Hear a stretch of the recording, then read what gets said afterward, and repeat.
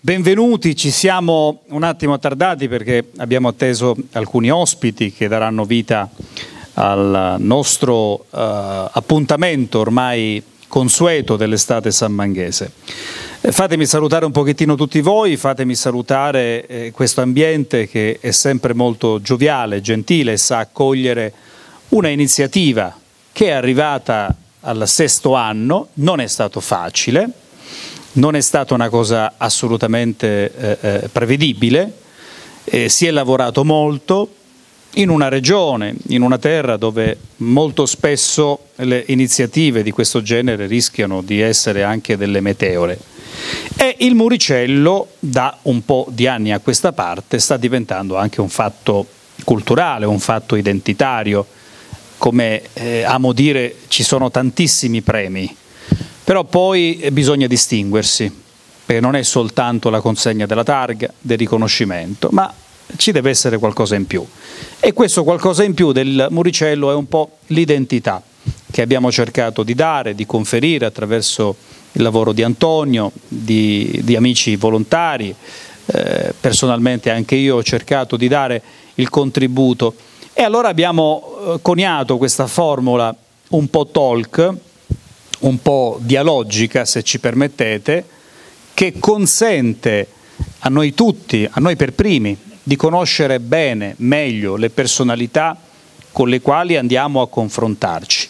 E infatti questa sera noi abbiamo tre premiati in campi eh, diversi, eh, ma non per questo incompatibili. Abbiamo anche delle menzioni speciali del premio Muricello e sia i premiati sia i menzionati avranno, mi auguro per loro, il piacere di conversare, di dar vita ad un momento talk con me e con Antonio, e infatti li metteremo qui al centro, no? ciascuno a, a, a mo' di sandwich, perché tra le domande di Antonio e le mie, ecco, ci sarà modo di conversare con loro, di conoscerli meglio, di farveli conoscere meglio e di capire anche la motivazione per la quale li abbiamo scelti per eh, rendere viva quest'estate sammanghese e questa sesta edizione del Premio Muricello. Premio Muricello che entra eh, di diritto nel cartellone sammanghese in questo festival di San Mango che parte e io sono molto contento che ci sia questo nuovo impulso, una nuova amministrazione presente con il sindaco Luca Marrelli in primis che ho avuto eh, il piacere di riabbracciare dopo un po' di tempo. Ho detto a Luca che lo avevo lasciato consigliere comunale, presidente del Consiglio, l'ho ritrovato sindaco, ci conosciamo da tantissimo tempo e per me è stata una gioia particolare. Ma diamo inizio a questo premio, io presento subito Antonio che del Moricello è l'ideatore, il demiurgo, il regista, è tutto ed è qui con noi ovviamente come sempre. Ciao!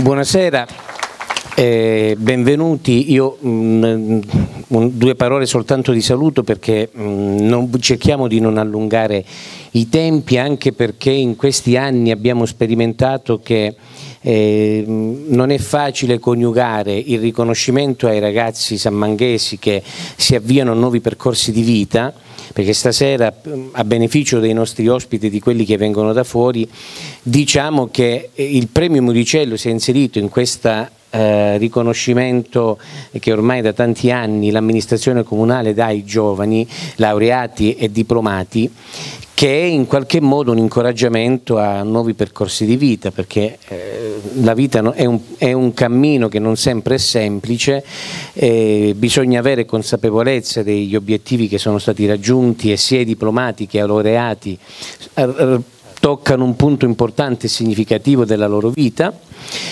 e quindi l'amministrazione a mo' di incoraggiamento ma anche eh, come dire, di, di, di, di saluto eh, e di gratitudine per l'impegno che hanno messo nelle cose che fanno ehm, da questi, eh, consegna queste eh, targhe premio.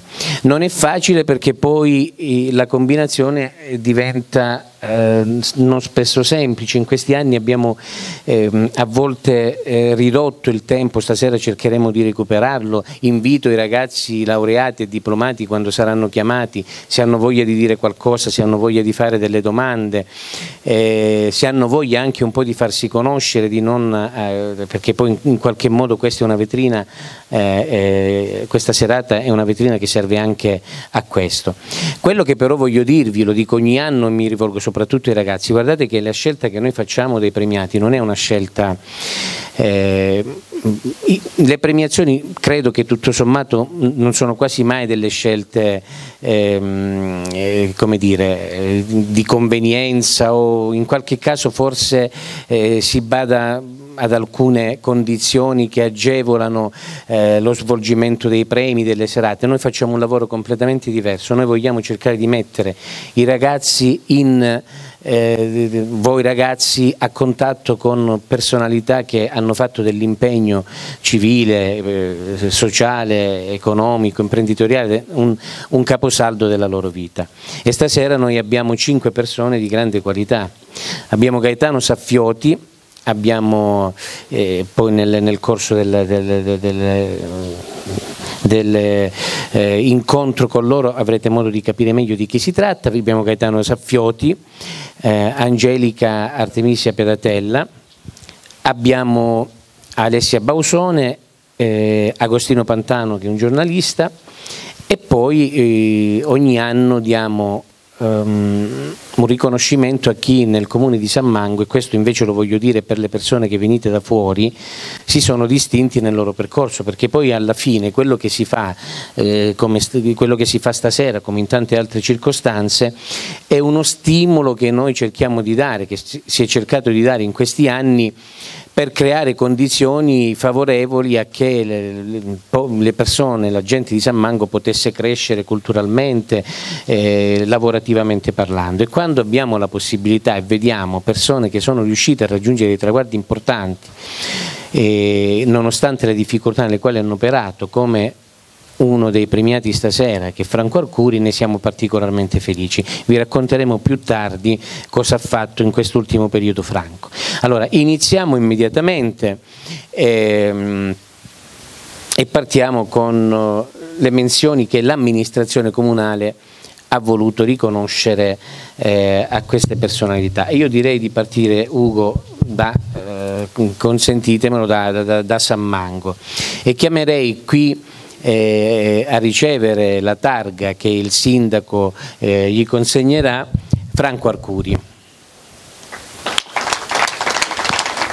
Che già peraltro mi ha già peraltro Benvenuto mi ha rimproverato dicendomi che insomma devo perfezionare. Caro maestro, noi non abbiamo portato le cravatte perché attendiamo di essere, cravatta- ecco, di essere cravattati di stile, di eleganza. Però due secondi prima di consegnare il premio voglio, voglio dirvi e raccontare anche San Manghesi, Franco, perché non è vero che nonostante una persona viva all'interno di una comunità, spesso la comunità eh, riesce ad essere consapevole eh, di quello che eh, ognuno riesce a realizzare. Io vi dico che Franco l'ho seguito in quest'ultimo periodo e ne sono stato felicissimo perché eh, intanto è partito in un settore, eh, ha deciso di fare imprenditoria in un settore difficilissimo un settore in cui in Calabria credo che non abbiamo, non abbiamo riferimenti eh, egali. E mm, in questi anni è cresciuto, ha un gruppo di 12 persone che lavora con lui, si è fatto un nome, ha, fatto, ha contribuito a dare onore a, a questo nostro paese eh, con la sua attività. E in quest'ultimo periodo eh, ha aperto i confini del suo lavoro in molte parti del mondo. Io lo vedo spesso che sta negli Stati Uniti. Eh, vorrei eh, farvi capire una cosa, qui siamo a San Mango d'Aquino, che è la periferia della Calabria, che è la periferia del sud Italia, che è la periferia dell'Italia. Quindi stiamo parlando di un territorio difficile che però in questi ultimi anni insomma, sta vivendo momenti anche di, in qualche modo di crescita, ma in questo settore sicuramente eh, iniziare a lavorare era una scommessa enorme. Stiamo parlando di un percorso iniziato vent'anni fa che adesso sta, sta, dando grandi frutti. Io Franco perché poi qualche domanda dopo l'introduzione ne abbiamo già parlato peraltro eh, telefonicamente. La cosa che volevo chiedere a Franco, due questioni. Intanto fare un bilancio dell'attività che tu, un bilancio di, di, quello che hai fatto in questi anni e poi vorrei che tu raccontassi il momento eh, più difficile di questi anni di lavoro e quando forse ti sei reso conto che le cose stavano cambiando e, e stavi raggiungendo gli obiettivi che ti eri prefisso. Il bilancio è difficile cioè nel senso perché ogni giorno per giorno si continua a lavorare e vedi che vai, cioè, eh, la crisi la, la crisi c'è ed è, è, forte.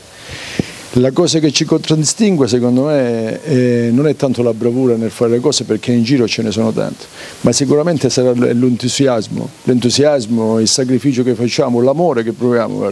Cioè, è, cioè, più che difficile è, è bello trovare, fare un lavoro dove tu ancora la mattina ti alzi e ti entusiasma farlo. No? E, e lavorare per questo e trovare delle persone che, eh, a cui riesci anche a trasmetterlo. Cioè le cravatte non le abbiamo inventate noi, cioè le cravatte noi siamo entrate anche, anzi forse nel periodo in cui la gente la, la, la indossa in meno, no? eppure eh, ti vai, vai, a portare questo prodotto che tu fai, lo porti in dei negozi che ancora riescono, riescono a vendere un'alta qualità di questo, di questo prodotto e, e, per vendere questa cosa tu che devi fare? Devi trasmettere quell'emozione che c'è, secondo me. Non è facile, devi trovare qualcuno che recepisce. Quello che ci chiedono a noi che stanno apprezzando, almeno dicono che stanno apprezzando, è la qualità, è il servizio che noi diamo, soprattutto. Andasse a specializzare in dei prodotti che non, non tutti fanno, cioè nel senso proprio la vera sartorialità della cravatta. Di questo ci è voluto del tempo, siamo passati da un conto terzi poi a fare una nostra produzione, insomma, no?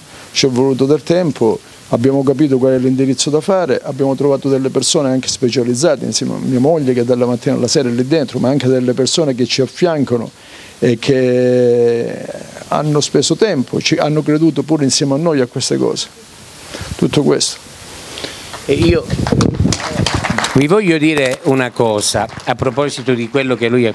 Una delle prime volte ecco perché te lo dicevo perché una delle prime volte che mi sono avvicinato in, dire, per conoscere il mondo che lui stava costruendo, sapevo che aveva un'attività che, che, stava crescendo, quindi perché so, conosco e conosciamo Franco come una persona seria. Però quando sono andato a trovarlo è, mh, mm, è, passato qualche anno, forse è stato 8-9 anni fa, beh, lui mi ha tenuto due ore nella sua, nella sua, azienda. Per due ore mi ha spiegato tutto quello che era possibile spiegare su questo mondo e lo faceva con una luce degli occhi, ha ragione lui quando parla di passione, con una luce degli occhi a me mi ha fatto vedere e toccare con mano eh, che cosa significava realizzare i prodotti e gli articoli che fa lui. Adesso San Mango ha l'orgoglio di avere un imprenditore che è cresciuto, ha l'orgoglio di avere un imprenditore, io vado in tanti posti e tante volte sento persone che eh, quando parlo di San Mango mi chiedono eh, di lui, mi chiedono del lavoro che sta facendo, mi chiedono della sua attività e questo se permettete è un motivo di orgoglio. E adesso il sindaco ti consegnerà la targa, però vorrei leggere ai eh, sammanghesi i, le motivazioni della menzione per la quale sei stato premiato. Intanto Franco, complimenti anche da parte mia. Grazie. Voglio dire, la cravatta ormai è un documento immortale, diciamo, di questa, del, del look maschile, no? E, e, poi una cravatta, tu hai detto, l'abbiamo presa questa cosa nel momento in cui stava venendo meno, c'erano tanti pregiudizi, uno dei pregiudizi forse peggiori sulla cravatta, no? È il classico regalo che riceve so, il papà, lo zio, l'amico, ecco, la solita cravatta. Invece adesso sta riprendendo quota anche il regalo della cravatta. Ma mh, mm, cioè nel senso almeno noi in particolar modo nel periodo natalizio, questa qua è una cosa che noi facciamo tanto, però la cosa che ci contraddistingue è quello di cercare di regalare qualcosa di diverso, cioè quello che dicevo prima, cioè nel senso non regalare la solita cravatta, ma regalare qualcosa che è andato a riprendere la tradizione, no? Cioè nel senso noi siamo molto specializzati nelle cravatte spoderate che magari agli occhi di tante persone non sanno cos'erano oppure non l'hanno mai apprezzato, però noi siamo apprezzato soltanto per questo, cioè dove tu effettivamente tutta, ehm, vai a vedere mette in risalto soltanto il discorso della manualità e della seta. Grazie a Luca Marrelli, sindaco di San Mango, l'onore di premiare Franco Arcuri, mettiamoci anche in favore di camere, telecamere. È con gioia che consegno questo targa, questo premio a Franco Arcuri, a cui mi lega una passione, che è la maratona. Lui ha un carattere come un maratoneta, non si ferma mai e se è vero come è vero che la cultura non ha limiti, non ha recinti, anche i tuoi prodotti non devono avere nessun limite, che sono conosciuti non solo in Italia, in Europa, ma anche in tutto il mondo. Allora, per te questa targa. Grazie. Questa targa Franco Arcuri con la seguente motivazione. Per aver saputo creare un marchio di impresa prestigioso con l'impegno ed il coraggio di chi ha sempre inseguito il futuro sognandolo come un'opportunità. Grazie Luca. Eh beh, una motivazione che compendia una carriera che ci auguriamo ancora più luminosa. Franco, rimaniamo però sempre nell'artigianalità. Ok? Grazie. Grazie Sindaco che poi sarà ancora protagonista di altri momenti premiali. Noi adesso andiamo avanti, iniziamo proprio i momenti di, eh, di talk, di mini talk se volete, con i nostri ospiti e iniziamo da una menzione speciale, da una delle due menzioni speciali che questa sera caratterizzerà il sesto momento, il sesto, la sesta edizione del premio Muricello. Io inizio da Alessia Bausone, dottoressa, ricercatrice, giurista, così giovane, impegnatissima.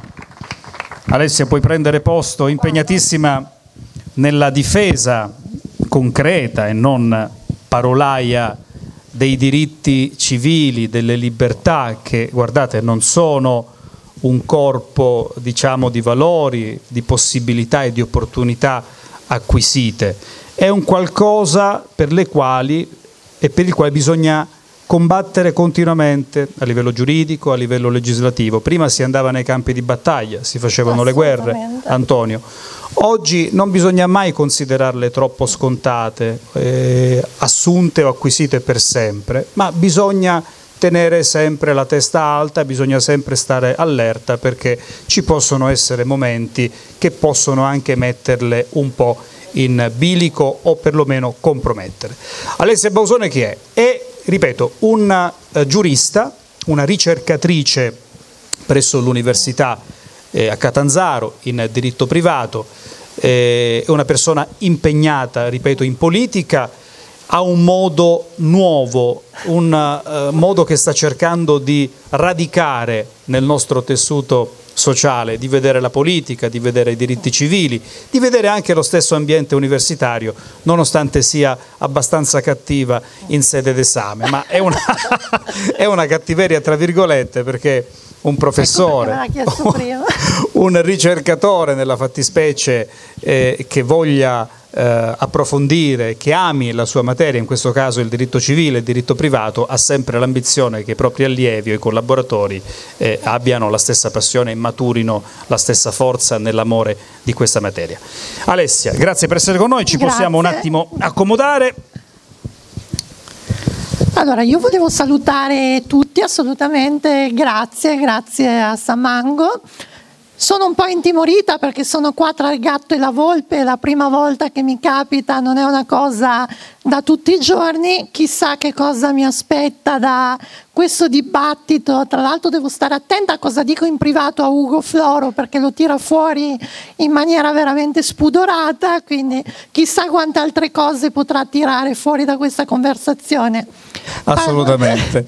e io ripeto, sono rimasto insieme ad Antonio dalla, eh, dalla originalità del tuo modo di fare politica. In molti fanno politica. Ora, al di là di quelle che sono le bandiere di partito, al di là di quella che è l'attualità che viviamo, molto povera di confronto, certo perché il confronto social non può certamente sostituire quello vero, quello che noi tutti vorremmo e che tutti auspicheremo. Però eh, vedere Alessia che eh, ad ogni tema sulle libertà associa una battaglia e spesso e volentieri la fa in splendida solitudine, è un qualcosa che ha rapito l'attenzione mia, di Antonio e degli altri collaboratori del premio. Tu sei... Beh, guarda Ugo, eh. hai toccato un tema molto importante, nel senso che molte volte quando si fa attivismo, quando si fa attività civica, perché noi sentiamo spesso parlare di civismo. Che cos'è il civismo se non stare nel territorio, sul territorio, vicino a chi porta avanti certe istanze, certe tematiche anche difficili, no? a prescindere dalle bandiere di partito, a prescindere dalla cosiddetta Repubblica dei like, uscendo da questo contesto sul territorio, quando si fa attivismo vero e proprio, molte volte ci si sente anche soli, perché c'è un conservatorismo anche a livello di istituzioni che prescinde anche dalla Calabria. No? Quindi cioè io devo scornare ogni giorno con dei muri, dei muri pazzeschi, no? Però ho la testa molto dura e lo faccio senza problemi. Non sono sola a livello di società, perché l'anno scorso, ad esempio, io tratto molto spesso il tema dell'omofobia, della violenza omofobica, ma anche delle libertà a livello di orientamento sessuale delle persone, no? che sono temi anche difficili da masticare. Se tu pensi fino a poco tempo fa, no? Parlare di unioni civili tra persone dello stesso sesso era una cosa molto strana, anche in Calabria la gente strabuzzava gli occhi, no? Adesso abbiamo anche delle persone, anche in Calabria, anche nel Catanzarese. Io ho sposato la prima coppia alla Mezzia Terme di due uomini, tra l'altro dolcissimi, e non ha fatto scandalo, l'ho visto anche nei commenti sui social, sui giornali online, no? non ha fatto scandalo perché ha attecchito un po' nel tessuto sociale. Quindi queste battaglie sociali riescono a essere assorbite dalle persone molto più tardi dalla politica.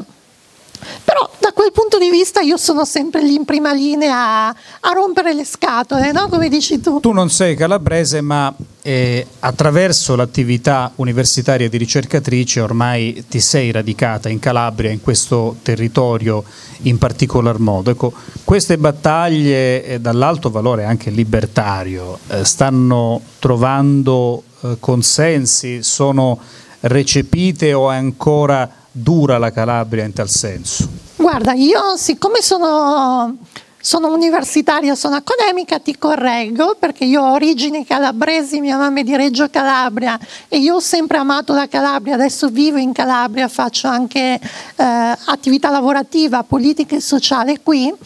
Però ti dico, l'anno scorso abbiamo avuto a Ricadi un evento orribile che era un evento di una casa vacanze che ha detto che non accettava gay animali. No? Ha fatto il giro del mondo, a me mi ha intervistata addirittura la BBC col mio inglese maccheronico, ho dovuto spiegare che la Calabria non era quella di quell'annuncio, la Calabria era molto altro. No? E insieme all'associazione e alle istituzioni abbiamo creato un evento che rifaremo anche quest'anno che si chiama Omofobi del mio stivale. No? per, eh sì, c'è anche un gioco linguistico di fondo, per dire che c'è anche una Calabria che non è grigia, che non è cupa, che non è monotematica o monogenere, ma c'è una Calabria progressista, ma non dal punto di vista politico, dal punto di vista del quotidiano. Perché io ho visto, porto una testimonianza stasera, quando ho sposato questi due ragazzi alla Mezia, eh, c'era tutta la famiglia, un centinaio di parenti commossi, anche i nipotini piccolini che piangevano, commossi per i loro parenti che coronavano un sogno d'amore, no?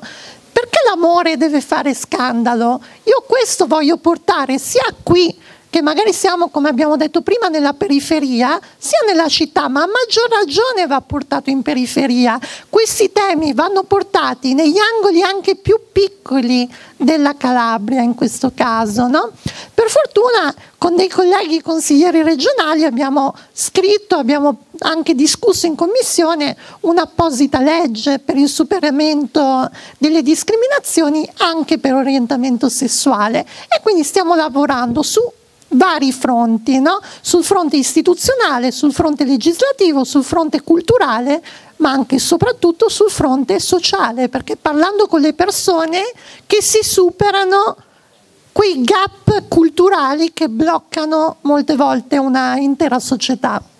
Antonio, Alessia.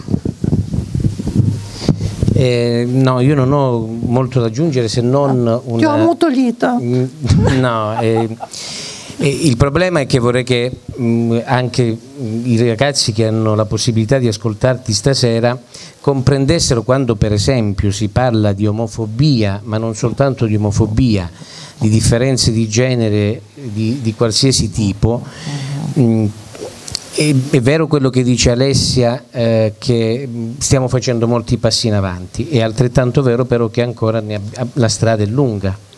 Io proprio un, qualche settimana fa, sono, un paio di settimane fa, mi sono confrontato con un ragazzo di 17 anni che ho conosciuto quando, andavo, quando sono andato a fare eh, lo dicevo prima a Gaetano, eh, facevamo delle lezioni antimafia, stavo facendo delle lezioni antimafia in una scuola professionale. Io non so per quale motivo eh, al termine della seconda lezione questo ragazzo si è avvicinato perché io ho fatto scrivere eh, in forma anonima dei biglietti che, che raccontassero le, le, le sensazioni provate durante questa lezione e mi trovo tra questi un biglietto che nulla aveva a che vedere con uh, l'argomento che stavamo trattando, ma che parlava di questo problema del sentirsi diverso, di non avere il coraggio di parlarne in famiglia.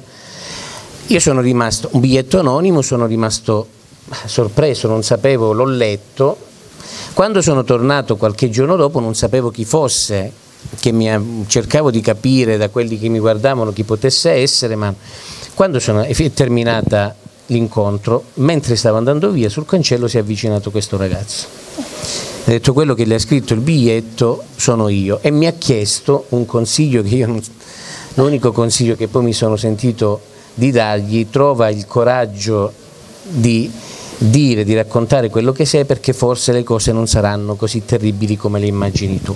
Però come vedete ancora ci sono dei drammi molto forti, per cui queste battaglie che sembrano scontate non lo sono affatto ed ecco per questo, perché ad Alessia stasera noi consegniamo questo riconoscimento. Io mi dispiace perché i, i, i, tempi dei talk, anche per un fatto di riguardo nei confronti un po' di tutti quanti noi, non possono essere molto lunghi, ma avremmo tante cose da dire. Però ecco perché il riconoscimento di stasera che ad Alessia eh, ehm, sarà consegnato dal Presidente del Consiglio Comunale eh, Luisa Fiorillo e il riconoscimento per il coraggio e l'impegno con i quali porta avanti la lotta a difesa dei diritti civili. Io mi auguro che, eh, ti, do, ti, ti faccio dire l'ultima cosa, ma mi auguro che tu possa continuare sempre con la forza e la determinazione che hai mostrato in questi anni. Grazie. Questo mm, riconoscimento è un riconoscimento anche per i temi che portiamo avanti, non è solo per me, io vi ringrazio tantissimo per stasera per l'invito, per il premio, però anche parlare, riconoscere pubblicamente che ci sono certe tematiche che come diceva Ugo non solo sono le tematiche dei diritti degli omosessuali, no? ad esempio recentemente abbiamo approvato in Consiglio regionale, io ho collaborato in questo, la legge sull'endometriosi, sul riconoscimento sociale dell'endometriosi, una legge importante per le donne. Due anni fa è stata fatta una legge apposita sulla corretta applicazione della legge 194 sull'interruzione volontaria di gravidanza, si è fatta divulgazione anche su questo. Quindi le libertà civili toccano tutto, toccano i diritti delle persone diversamente abili, toccano i diritti degli omosessuali, delle minoranze, dei migranti, eh, toccano i diritti delle donne anche più basilari, no? molto spesso messi a rischio da questi rigurgiti conservatoristi eh, che noi troviamo anche nelle piccole cose. Quindi grazie Sammango, grazie a voi due, devo dire che ce l'ho fatta. No? Grazie a te, Presidente Fiorillo a consegnare la targa. Io ringrazio particolarmente Alessia perché, ripeto, i diritti non sono mai roba scontata, dobbiamo saperli guardare, dobbiamo saper guardare loro continuamente per evitare che vengano compromessi anche di poco, perché quel poco può significare molto spesso una restrizione delle nostre libertà, della nostra libertà. Prego Presidente, con la menzione. Allora, premio Muricello 2018 l'amministrazione comunale ad Alessia Bausone per il coraggio e l'impegno con i quali porta avanti le lotte a difesa dei diritti civili. Grazie. Alessia Bausone, ospite del Muricello, edizione 2018. Grazie Alessia. Grazie. Bocca al lupo. Grazie. Parleremo ancora con te e sentiremo ancora parlare di te. che poi c'erano tante cose da chiedere ad Alessia, che lei comunque è un attivista di un partito importante, molto spesso Antonio, certi partiti non vanno avanti perché le istanze non le recepiscono, nemmeno da chi fa politica all'interno, quindi è un problema abbastanza serio, ma avremo modo, insomma, il Moricello eh, non è soltanto un'occasione una volta all'anno, ma c'è tutto un percorso fatto di piccole e grandi iniziative che ravvivano questa comunità e non solo. Andiamo all'altra menzione? Sì, allora, eh, è un giornalista che non abbiamo come gli altri, eh, come gli altri premiati chiamato qui eh, solo per quello e per il buon lavoro che ha fatto dal punto di vista professionale. Lo abbiamo chiamato perché nel mondo del giornalismo, io sono un giornalista, ci sono molti validi colleghi che spesso però si piegano alle logiche eh, editoriali, alle logiche delle opportunità eh, alle logiche anche lavorative, sarebbe molto più facile in alcuni casi fare spallucce e avere molti vantaggi dal punto di vista eh, dell'attività. esattamente quello che non è Agostino Pantano. Agostino, un collega giornalista libero, cocciuto, l'aggettivo libero è molto spesso abusato, quasi stuprato, non solo dalla, dalla pubblicistica, caro Agostino ma eh, eh, eh, dalla, dalla, dalla, politica anche, insomma, no? dalla politica editoriale. E Agostino è una persona, certo, ci sediamo, guadagniamo la postazione talk, è una persona che io ho conosciuto, un collega che io ho conosciuto in un momento difficile, umanamente, sentimentalmente, io direi anche tragico della sua, della sua vita.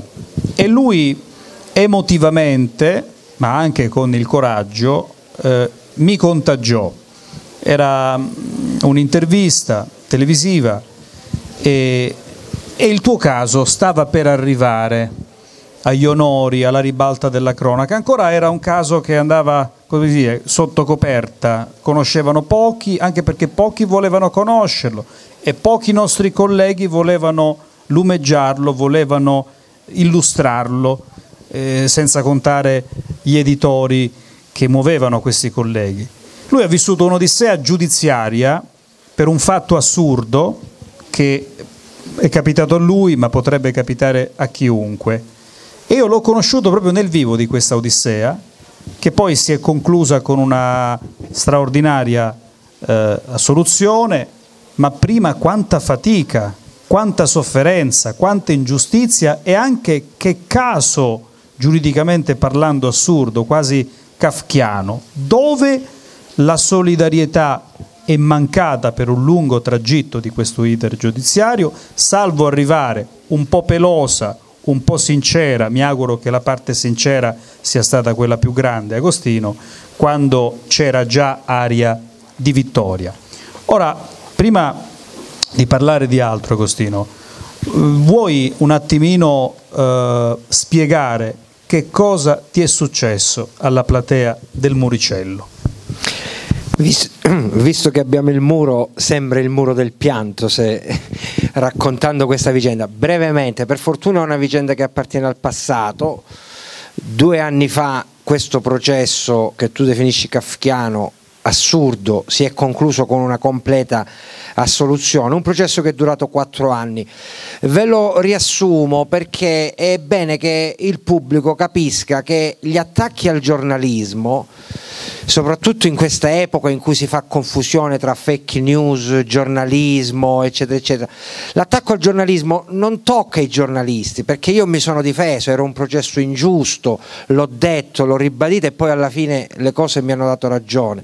Ma l'attacco al giornalismo riguarda i lettori, riguarda i telespettatori, riguarda il pubblico del nostro lavoro. Eh, voi immaginate il reato tipico che si applica ai ladri, cioè la ricettazione. La ricettazione secondo il codice penale è colui il quale il ricettatore approfitta del furto commesso da Antonio, si avvantaggia perché Antonio ha bisogno di eh, sistemare, di rivendere l'oggetto e quindi il ricettatore entra in causa, eh, viene chiamato in causa perché si avvantaggia del reato commesso da altri. Questa fattispecie di reato è stata applicata per la seconda volta in Italia a me, prima di me a un giornalista illustre, il direttore di oggi, Sandro Maier, non so se vi ricordate, ma in quel caso l'oggetto il passaggio dal ladro al ricettatore c'era perché erano, vi ricorderete, le famose foto rubate a Berlusconi nella sua villa in Sardegna, violazione della privacy era il reato principale, il direttore aveva pubblicato quelle foto pagandole e fu applicato quel reato, la ricettazione. Nel mio caso invece per la prima volta non c'è l'oggetto del reato, perché oggetto del reato viene considerata la notizia, poiché secondo quel magistrato che chiese e ottenne il mio rinvio a giudizio, io mi ero avvantaggiato da un uh, documento considerato secretato. Il documento considerato secretato era il pane quotidiano di noi giornalisti. Quando sciolgono un consiglio comunale, i lettori hanno bisogno di sapere i motivi per cui quel consiglio comunale è stato sciolto per mafia, quindi io pensavo di fare un servizio a favore dei cittadini e dei lettori, invece avevano considerato che eh, quelle notizie non andavano diffuse. È una cosa appunto eh, un doppio livello di gravità perché, udite udite, nel mio caso non è stato neanche indagato, non è stato neanche cercato il ladro, cioè chi ha commesso il primo reato. Quindi è stato isolato il mio caso, io sono stato processato per ricettazione, mi sono, eh, sono stato assolto, ma loro hanno fatto finta che non esistesse il, il, furto, perché io posso capire se sono stato il ricettatore vai a cercare chi era il ladro, ma il ladro evidentemente era qualcuno che loro non volevano trovare e cercare perché a un giornalista chi può dare le notizie che riguardano lo scioglimento, quindi qualche livello alto. Allora colpivano il giornalista e ne colpivano uno per educarne cento, volendo dire guardate che se sciolgono un consiglio comunale è bene che i giornalisti non scrivano perché possono andare incontro a problemi di questo tipo. Eh beh, eh, Antonio per lo stesso principio sarebbe dovuto andare dentro insomma, un sacco di volte perché quando si è parlato di scioglimento di comuni locali, citiamo quello di Lamezia Antonio, tu dalla prima pagina alla mattina del quotidiano, insomma ci davi sempre, non dico delle anticipazioni, ma a volte cose che si avvicinavano a quello che poi abbiamo trovato no? realmente nella relazione eh, e sul merito poi bisognerà fare un altro discorso che sorreggeva il provvedimento. Voi avete ascoltato diciamo, una prima parte della storia di Agostino, adesso ve ne racconto un'altra. Agostino ehm, ci ho riflettuto un po' se, se, dirla questa cosa, anche perché secondo me un po', eh, non so se, se, ti fa piacere, però il problema è questo, Vede, Agostino si trova qui stasera perché per l'ennesima volta credo che sia stato, non dico vittima, perché non, non è il termine giusto, eh, raccontava sul, su Facebook ieri che ricevi questo premio da un periodo in cui ti trovi eh, disoccupato. Beh, Agostino si trova disoccupato in questo momento, non, non, credo soltanto perché ci sia una mancanza di lavoro. Agostino si trova disoccupato in questo momento perché credo non abbia seguito a fondo una certa determinata linea editoriale o forse nelle scelte che sono state fatte si è tenuto in considerazione il fatto che lui, bene, e io vi invito a riflettere su questo perché poi Agostino, ti, ti ripeto, purtroppo siamo i tempi i tecnici sono ristretti, però invito voi a riflettere su questo fatto qui. Agostino avrebbe potuto tranquillamente scegliere una strada molto più comoda, anche perché qua non siamo a New York, che tu perdi il lavoro e domani mattina vai e ne trovi uno dietro l'angolo. Eh, spesso fanno passare questa barzelletta che insomma Ugo mi, mi bacchetterà e lo so che mi bacchetta non solo lui questa storia che insomma molto spesso sentite dire che i, i migranti portano via il lavoro agli italiani come se prima che arrivassero i migranti il lavoro ce lo buttassero addosso. Ecco, Agostino non è che vive in una terra in cui il lavoro esce da, da, mh, dalla porta di casa e lo trovi, eppure ha fatto una scelta. Ma perché hai fatto questa io scelta? sono su piazza da una quindicina d'anni nel giornalismo, insomma ho cambiato, tranne il quotidiano del sud, il tuo giornale, li ho cambiati tutti. No, io, non, io dico che quando si interrompe un rapporto di collaborazione è giusto che il giornalista eh, prenda la sua decisione. Io eh, non sono stato mai licenziato ho preferito sempre staccare la spina prima. L'ho fatto con Calabriora, vi ricordate?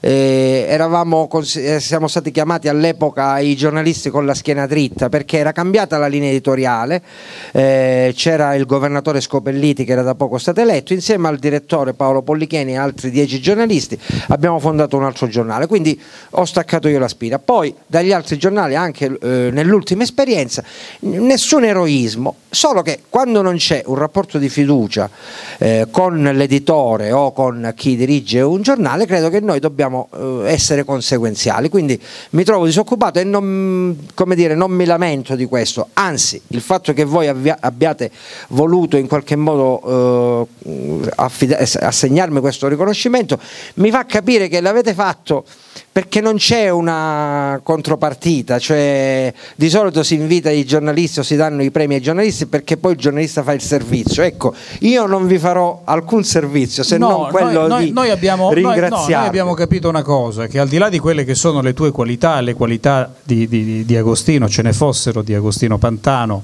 professionale, però Agostino è stato un innovatore perché lui è disoccupato, ma il concetto di disoccupazione è relativo, ma è molto occupato a, a, scrivere articoli su Facebook, dove hai molto spesso, a mio parere, una incidenza, una uh, uh, vis no, di penetrazione forse maggiore rispetto a quella che è quella che potrebbe dare la testata tradizionale. Che ormai il paradosso, non più paradosso, ormai è questo: si diventa molto più radicati, a volte anche forse pure radicali, su Facebook rispetto alla carta stampata che ai noi sta perdendo sempre più consistenza. E prima di riconoscerti e di avere anche un tuo pensiero su questa tua innovazione, io dico che se voi leggete Agostino Pantano sul suo giornale, la pagina Facebook, sul suo giornale, quello di cui è direttore, redattore, caporedattore e anche sindacalista. Non mi può cacciare nessuno. Non ti può cacciare nessuno a meno che Zuckerberg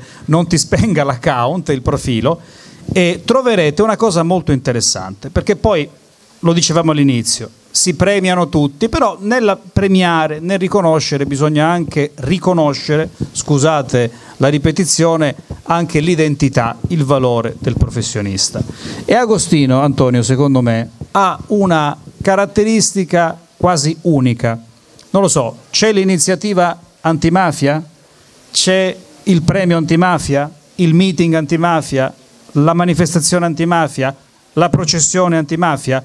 Ecco, Agostino riesce con dati, con, a volte anche con evidenze giudiziarie, a dimostrarti chi fa l'antimafia di professione, chi la fa invece con passione e te lo dice molto spesso svelando no? eh, tutti questi intrighi, questi intrecci, spogliandoli dell'ipocrisia che vige e regna sovrana in questo mondo. Quindi io molto spesso ti utilizzo come bussola, perché se c'è, ti faccio esempio, la preside che fa l'iniziativa antimafia. E tu mi dici, beh, brava la preside, potrei anche dire il direttore, potrei anche dire il presidente di questa associazione che ha fatto questo e questo e questo, però dovete sapere che Ecco, io vado a leggere sempre il però dovete sapere che. E tu? Ma perché ci sono passato, nel senso che oggi tutti denunciano i professionisti dell'antimafia, io in tempi non sospetti avevo svelato il caso di uno che aveva fatto il furbacchione approfittando dell'antimafia e lo scrissi. Perché dico questa cosa? Perché gli attacchi alla libertà di stampa, eh, parlo con i cittadini soprattutto, guardate che non sono solo i processi, quello che ho detto prima, la ricettazione, ma gli attacchi alla libertà di stampa sono anche le macchine del fango che spesso si accendono sui social. Ebbene io ho un altro processo ora in corso, siamo in Cassazione, perché una persona, un personaggio pubblico, invece di criticare un mio servizio e giustamente di dire non sono d'accordo, eh, si mise sui social, si mise su internet e accese la macchina del fango. Io che non me la tengo neanche, diciamo, anche per una questione di principio, Lo so, mi l'ho denunciato e ora ho vinto in secondo grado. Siamo in Cassazione perché poi pure lui l'ha fatto come una questione di principio. Allora per dire che cosa? Che se uno vuole difendere la libertà di stampa deve poi esporsi, deve poi metterci la faccia, deve poi essere conseguenziale e quindi andare anche nelle sedi giuste. E l'invito è appunto di distinguere sempre il giornalismo sano, autorevole, da- dal fango che purtroppo circola anche sulla rete. Agostino Pantano. Grazie. Chiamo Aldo Grandinetti a consegnare il premio ad Agostino, Aldo. il nostro consigliere comunale, nonché titolare di una caterba di deleghe, scusate ogni tanto mi scappa, che si è preso sulle spalle la menzione. La motivazione, consigliere Grandinetti. per aver scelto la via più difficile nell'esercizio del mestiere di giornalista, essere al servizio della notizia, della propria coscienza e della propria terra. L'amministrazione comunale ringrazia. Grazie, grazie. Grazie, Grazie Agostino. Allora, io adesso devo chiedervi un supplemento di attenzione soprattutto ai ragazzi. Eh, mh, perché chiamiamo, eh, vorrei chiamare, vorrei che arrivasse già in mezzo a noi eh, Gaetano Saffioti. Iniziamo i, i due riconoscimenti del premio Muricello. Ora vi chiedo un supplemento di attenzione perché ci sono persone, guardate, nei confronti delle quali la eh, nostra società ha un debito di riconoscenza che difficilmente riusciremo mai a pagare, che hanno una storia che a raccontarla mh, e a conoscerla veramente come ho fatto io in questi anni eh, ha davvero dell'incredibile. Ehm, e Gaetano Saffioti è un imprenditore, non lo voglio chiamare eh, antimafia, è un imprenditore che a un certo punto ha deciso di riprendersi la sua libertà. Ha fatto questo in un tempo in cui le cose non andavano come vanno oggi. Io dico a, a voi ragazzi che a volte vi affacciate eh, eh, sul tema eh, e affrontate il tema della legalità con qualche difficoltà perché San Mango fortunatamente non conosce, eh, ha avuto anche qualche caso, qualche episodio di criminalità ma non conosce la barbarie della, eh, della eh, criminalità organizzata dell'andrangheta. Ma mh, eh, Gaetano Saffioti è di Palmi, è cresciuto in un periodo in cui in quella zona lì non è che giocavano a bocce, ammazzavano le persone e a Taurianova in quegli anni, tra gli episodi che si sono verificati, eh, ce n'è stato uno in cui dopo aver ammazzato in piazza una persona gli hanno tagliato la testa e ci hanno giocato al tirassegno. E qua non sono il racconto dei film che vediamo in televisione, questa è la realtà che noi spesso da calabresi e soprattutto voi giovani non conoscete perché oggi non è facile fare antimafia e dire no all'andrangheta, però si riesce più facilmente perché c'è un tessuto sociale, c'è le forze dell'ordine, magistratura, anche un mondo giornalistico che si oppone in un certo modo. Ai tempi in cui Gaetano Saffioti ha fatto questo passaggio, compiendo alcune cose, io un episodio ve lo voglio raccontare perché poi faremo alcune domande a Gaetano, perché vi, vi dice che, che, che, che, persona voi avete di fronte. Quando Gaetano Saffioti ha deciso di, e questo perdonami ma lo devo raccontare perché è una cosa che racconto sempre perché sembra veramente roba da film, quando Gaetano Saffioti ha deciso di eh, denunciare i suoi estorsori, doveva, ha fatto un lavoro di indagine autonomo prima ancora di andare dalla polizia ha cercato di raccogliere le prove da portare poi ai magistrati ai poliziotti per incastrare quelli che gli estorsori che gli avevano chiesto il pizzo. Sapete cosa è successo una volta? È stato chiamato da uno di questi estorsori, un latitante, in, un, in un'abitazione, non so, in un capannone, e voi li vedete in televisione quei film di, di, azione che vi piacciono tanto, dove ci sono le persone che vengono accolte, vanno da questi criminali e trovi gente con, la, con eh, i fucili, le pistole? Beh, esattamente quello che è successo a lui. È stato convocato, è arrivato da questo latitante capomafia, attorno a questo latitante c'era eh, gente con i mitra, con le pistole e lui era armato di un'arma pericolosissima che era un registratorino che si era infilato nella tasca per registrare quello che gli stavano chiedendo. Piccolo problema, non sono i registratori di oggi, sono i registratori di una volta con la cassetta che quando finivano di registrare scattava il pulsantino. E sapete cosa significava questo? Che se mentre lui si trovava lì finiva il nastro e si sentiva questo rumore, sarebbe stato scoperto. E non è che quelli gli davano una pacca sulle spalle e lo mandavano a casa e diceva beh non ti preoccupare, no, a casa la sua famiglia, io le cose ve le dico per come sono, anche se sono crudo, non l'avrebbe rivisto più, sarebbe finito, non lo so. Non gli avrebbero detto di andare a comprare Non gli avrebbero detto. E allora si è dovuto inventare un escamotage, ha trovato lì vicino dei pezzi di legna secca, si ci è seduto sopra, ha provato a vedere schiacciando il piede se potesse essere un rumore simile a quello del registratorino, ha visto che poteva essere tentata la carta e ha detto speriamo che mi vada bene. Quando è scattato e finito il nastro, lui ha schiacciato e fortunatamente la cosa è passata anche perché allora difficilmente. Ecco, questo è Gaetano Saffioti. A me la cosa che colpisce di più, e lui ci racconterà alcune cose, la cosa che colpisce di più di Gaetano è questo sorriso che ha sempre quando parla, nonostante minacce, vive sotto scorta, ne ha subito di tutti i colori, ehm, ha dovuto far fronte a 150.000 problemi, lo, è sorridente e si rivolge sempre con estrema speranza eh, a chi eh, parla con lui. Allora noi stasera ci faremo raccontare alcune cose e poi consegneremo con grandissima gioia questo, e, e, anche gratitudine perché ricordatevi eh, una cosa. E se noi abbiamo fatto delle grandi battaglie e abbiamo raggiunto degli obiettivi sulla, nella lotta e alla criminalità è perché c'è gente come Rocco Chinnici, Falcone, Borsellino, Costa e tanti altri ci hanno rimesso la pelle. Nel mondo dell'imprenditoria, se oggi c'è gente che non abbassa la testa è perché ci sono stati imprenditori come Gaetano Soffioti che hanno rischiato la pelle davvero, non per scherzo, che non hanno abbassato la testa. Quindi stasera, noi stasera siamo felici di averti qui e vorrei cominciare, ci sediamo un attimo così, ci racconta Gaetano e avrete modo di ascoltarlo dalla sua voce. Innanzitutto, eh, mm, Gaetano, eh, che cosa è scattato e quando hai deciso che dovevi cambiare pagina e riprenderti la tua libertà. Che cosa è scattato, che cosa è successo e che cosa hai pensato di fare? No, innanzitutto ha lodato troppo, non, è, non mandiamo questo messaggio di eroismo perché non sono un eroe e, ness- e nemmeno coraggioso. Niente, una mattina mi sono alzato e ho detto stamattina vado a denunciare.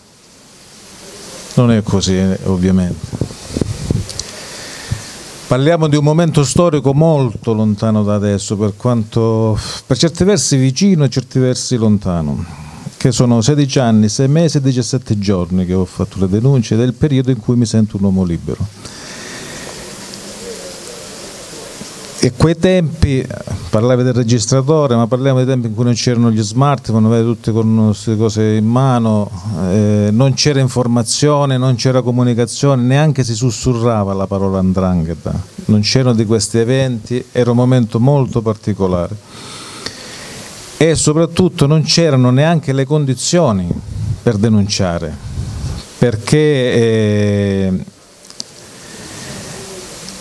in quei incontri con i latitanti di cui ho accennato poco fa, alcune volte c'erano anche esponenti delle forze dell'ordine o quando subivo attentati, ho subito decine di attentati fra escavatori, camion e cose varie, quando andavo a fare la denuncia, chi riceveva la denuncia diceva adotta l'undicesimo comandamento, che penso conoscete tutti qua, no?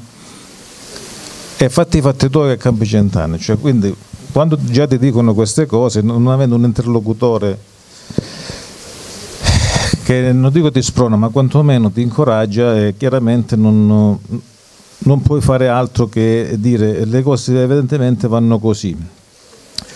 Ma tutto questo percorso cozzava con gli insegnamenti di mio padre, no? Eh, cioè, meglio pane e cipolla ma a fronte alta, tutta una serie di cose, di positività nella crescita della vita.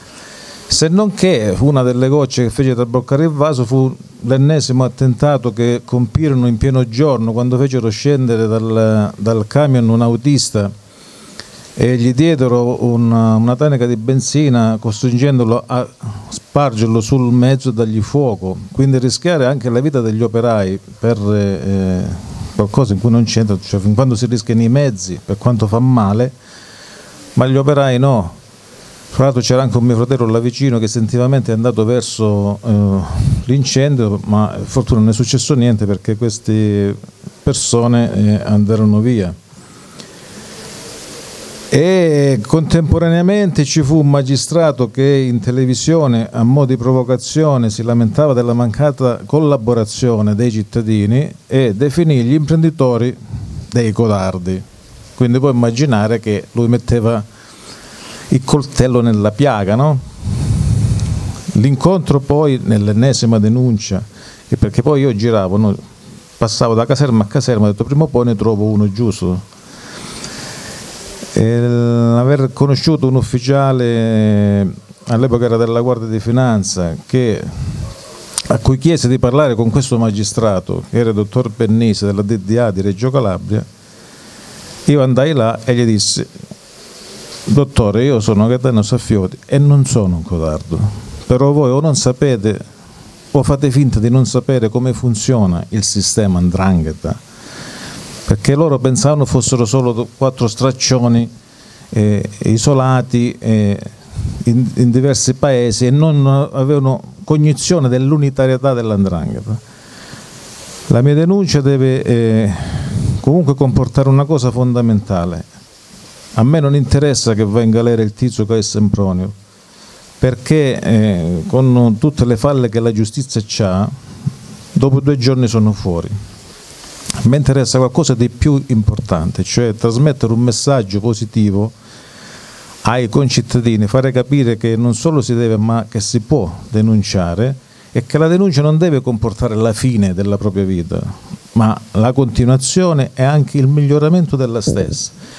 Quindi fu una sorta di condicio sine qua non il fatto che la denuncia doveva comportare che io restassi nella località d'origine, mentre oggi magari non fa tanto notizia, ma a quei tempi era una cosa eccezionale, cioè eh, restare con la mia brutta faccia, avevo sempre il mio stesso numero di telefono, abito sempre nella stessa casa, cioè continuare a fare una vita normale, perché la vittoria più grande è fare una vita normale. Lo Stato avrebbe dovuto dimostrare che si eh, sarebbe riappropriato del territorio e avremmo messo anche alla prova tutte quelle che si riempiono la bocca di legalità, ma poi nei fatti non si pratica. E così fu, scattò quell'operazione che comportò l'arresto di 48 persone di 8 clan diversi nella zona in cui operavo, sequestro dei beni, confische, eccetera, eccetera. Il proseguo della, del, del, mio, del, mio, progetto, cioè dell'idea di restare, ha portato poi i frutti, perché poi nel, nel proseguo ci sono state altre arresti per altre operazioni, altre confische, perché il testimone di giustizia è e deve essere una risorsa per lo Stato e per i cittadini e non un peso, non un costo. Difatti il sottoscritto non ha mai preso un centesimo, anzi ha rifiutato i soldi dello Stato perché non vuole vivere di elemosina, perché io devo darmi da fare da solo, riuscire col mio lavoro ad andare avanti e mandare un messaggio non fatto di fragili speranze, ma di solide certezze, perché ognuno di noi ha un potere che a volte non sappiamo di avere, quello di scegliere. Non siamo mai costretti a fare una cosa, c'è sempre l'alternativa che a volte non ci piace perché è più dura, è più difficile, è più complicata, ma si può sempre scegliere, sempre, continuamente. E quindi cerco di trasmettere questa positività restando, cercando di dimostrare con i fatti che la cosa è possibile, continuando a essere utile.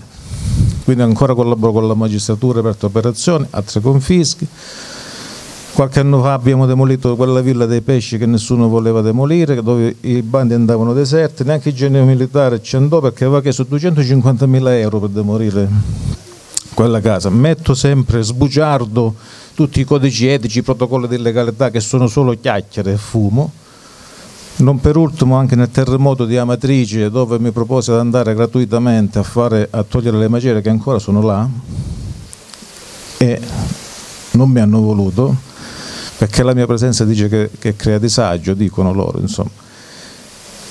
E quindi si continua su questa strada affinché eh, si capisca che non ci sono più alibi. Noi viviamo in un territorio che ha delle potenzialità inimmaginabili, inimmaginabili, siamo seduti su questa miniera d'oro e la, la sappiamo sfruttare. Se si aspetta ancora che arrivi la, la fatina con la bacchetta magica, questa terra non emergerà.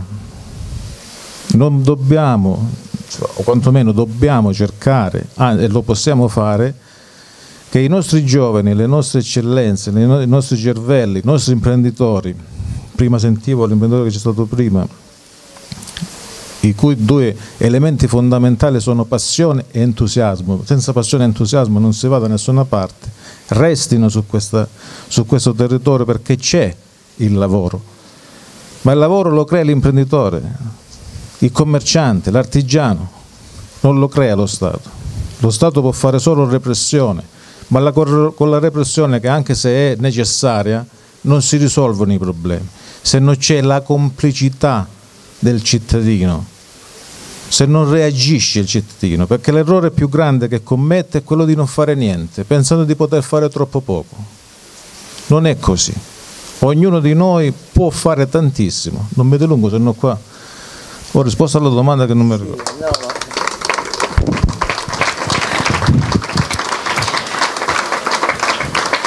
Io oh, lo ascolto sempre con...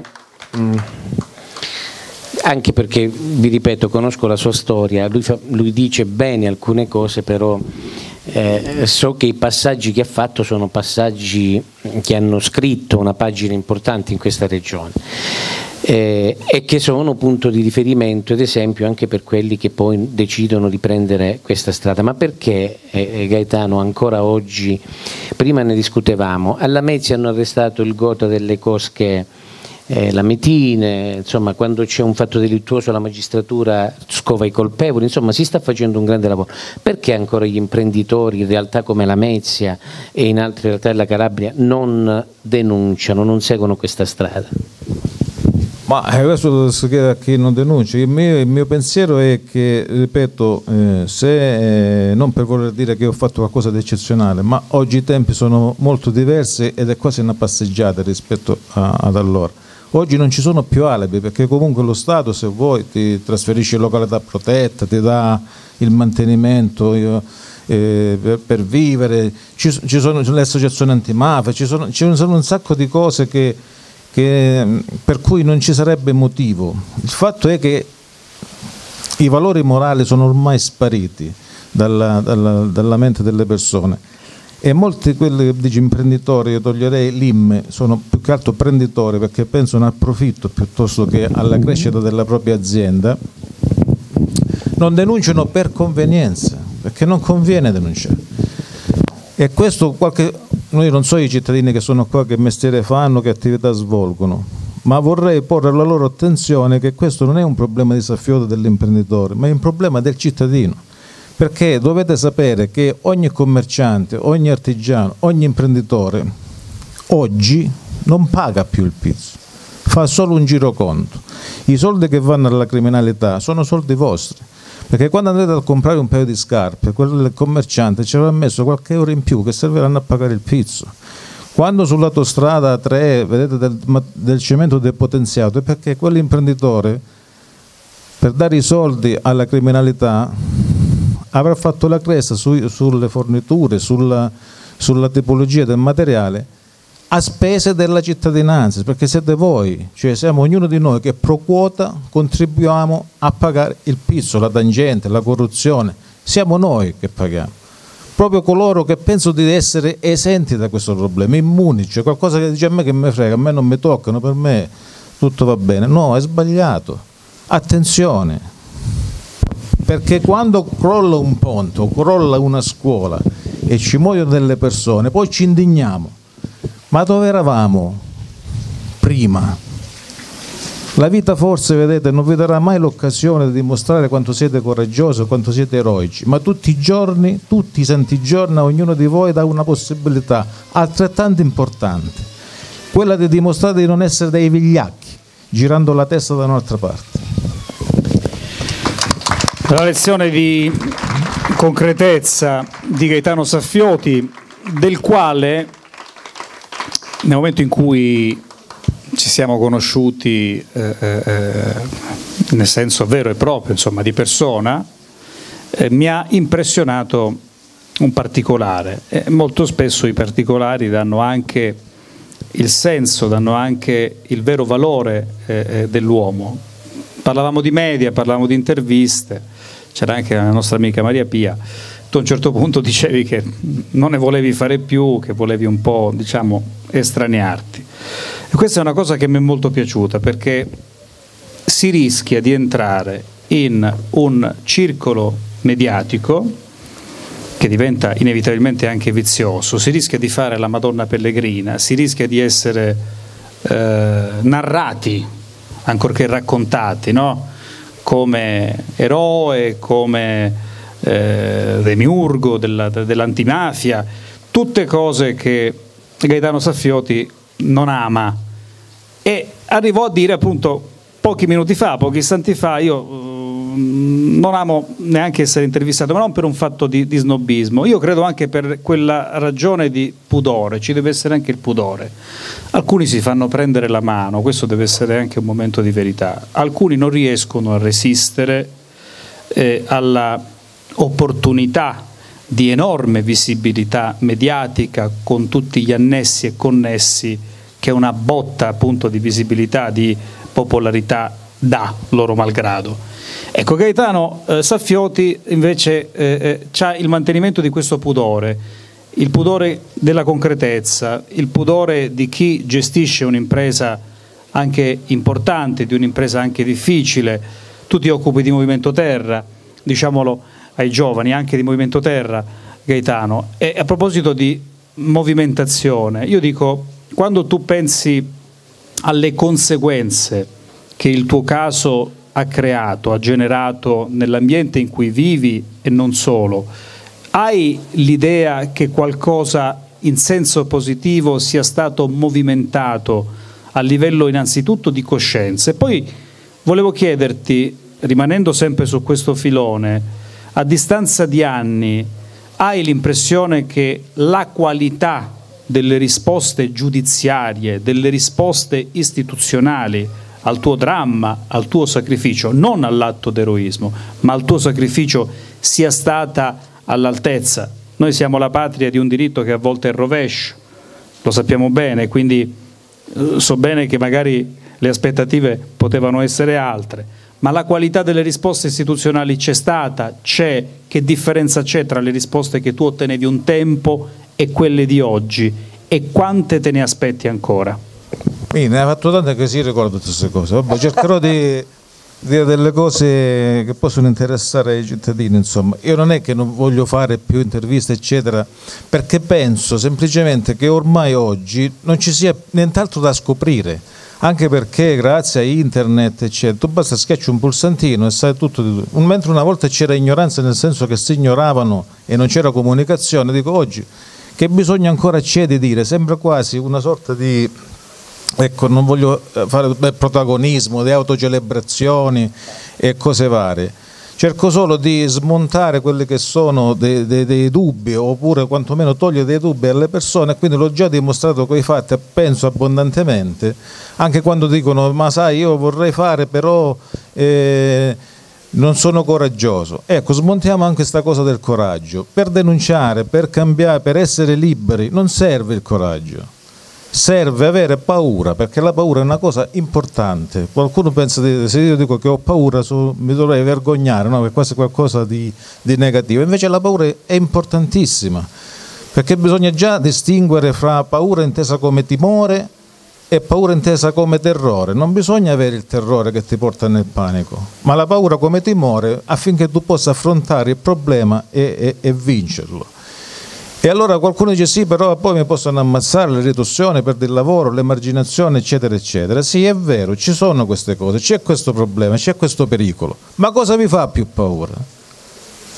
Avere ritorsioni, perdere il lavoro o vivere col rimorso di non aver fatto niente per cambiare le cose e lasciare alle nuove generazioni questo mondo malato? E il mio caso è stata la seconda. Io credo che questo dovrebbe smuovere qualsiasi coscienza. Basterebbe seguire la semplice regola delle tre R, rispetto per se stessi, rispetto per gli altri, responsabilità per ogni azione. Non ci vuole molto, non è difficile, è semplice, basta, basta solo volerlo. Ora qual era la domanda che non mi ricordo? Se... No, se ah, ci sono state le risposte istituzionali e giudiziarie all'altezza di quelle che ti aspettavi.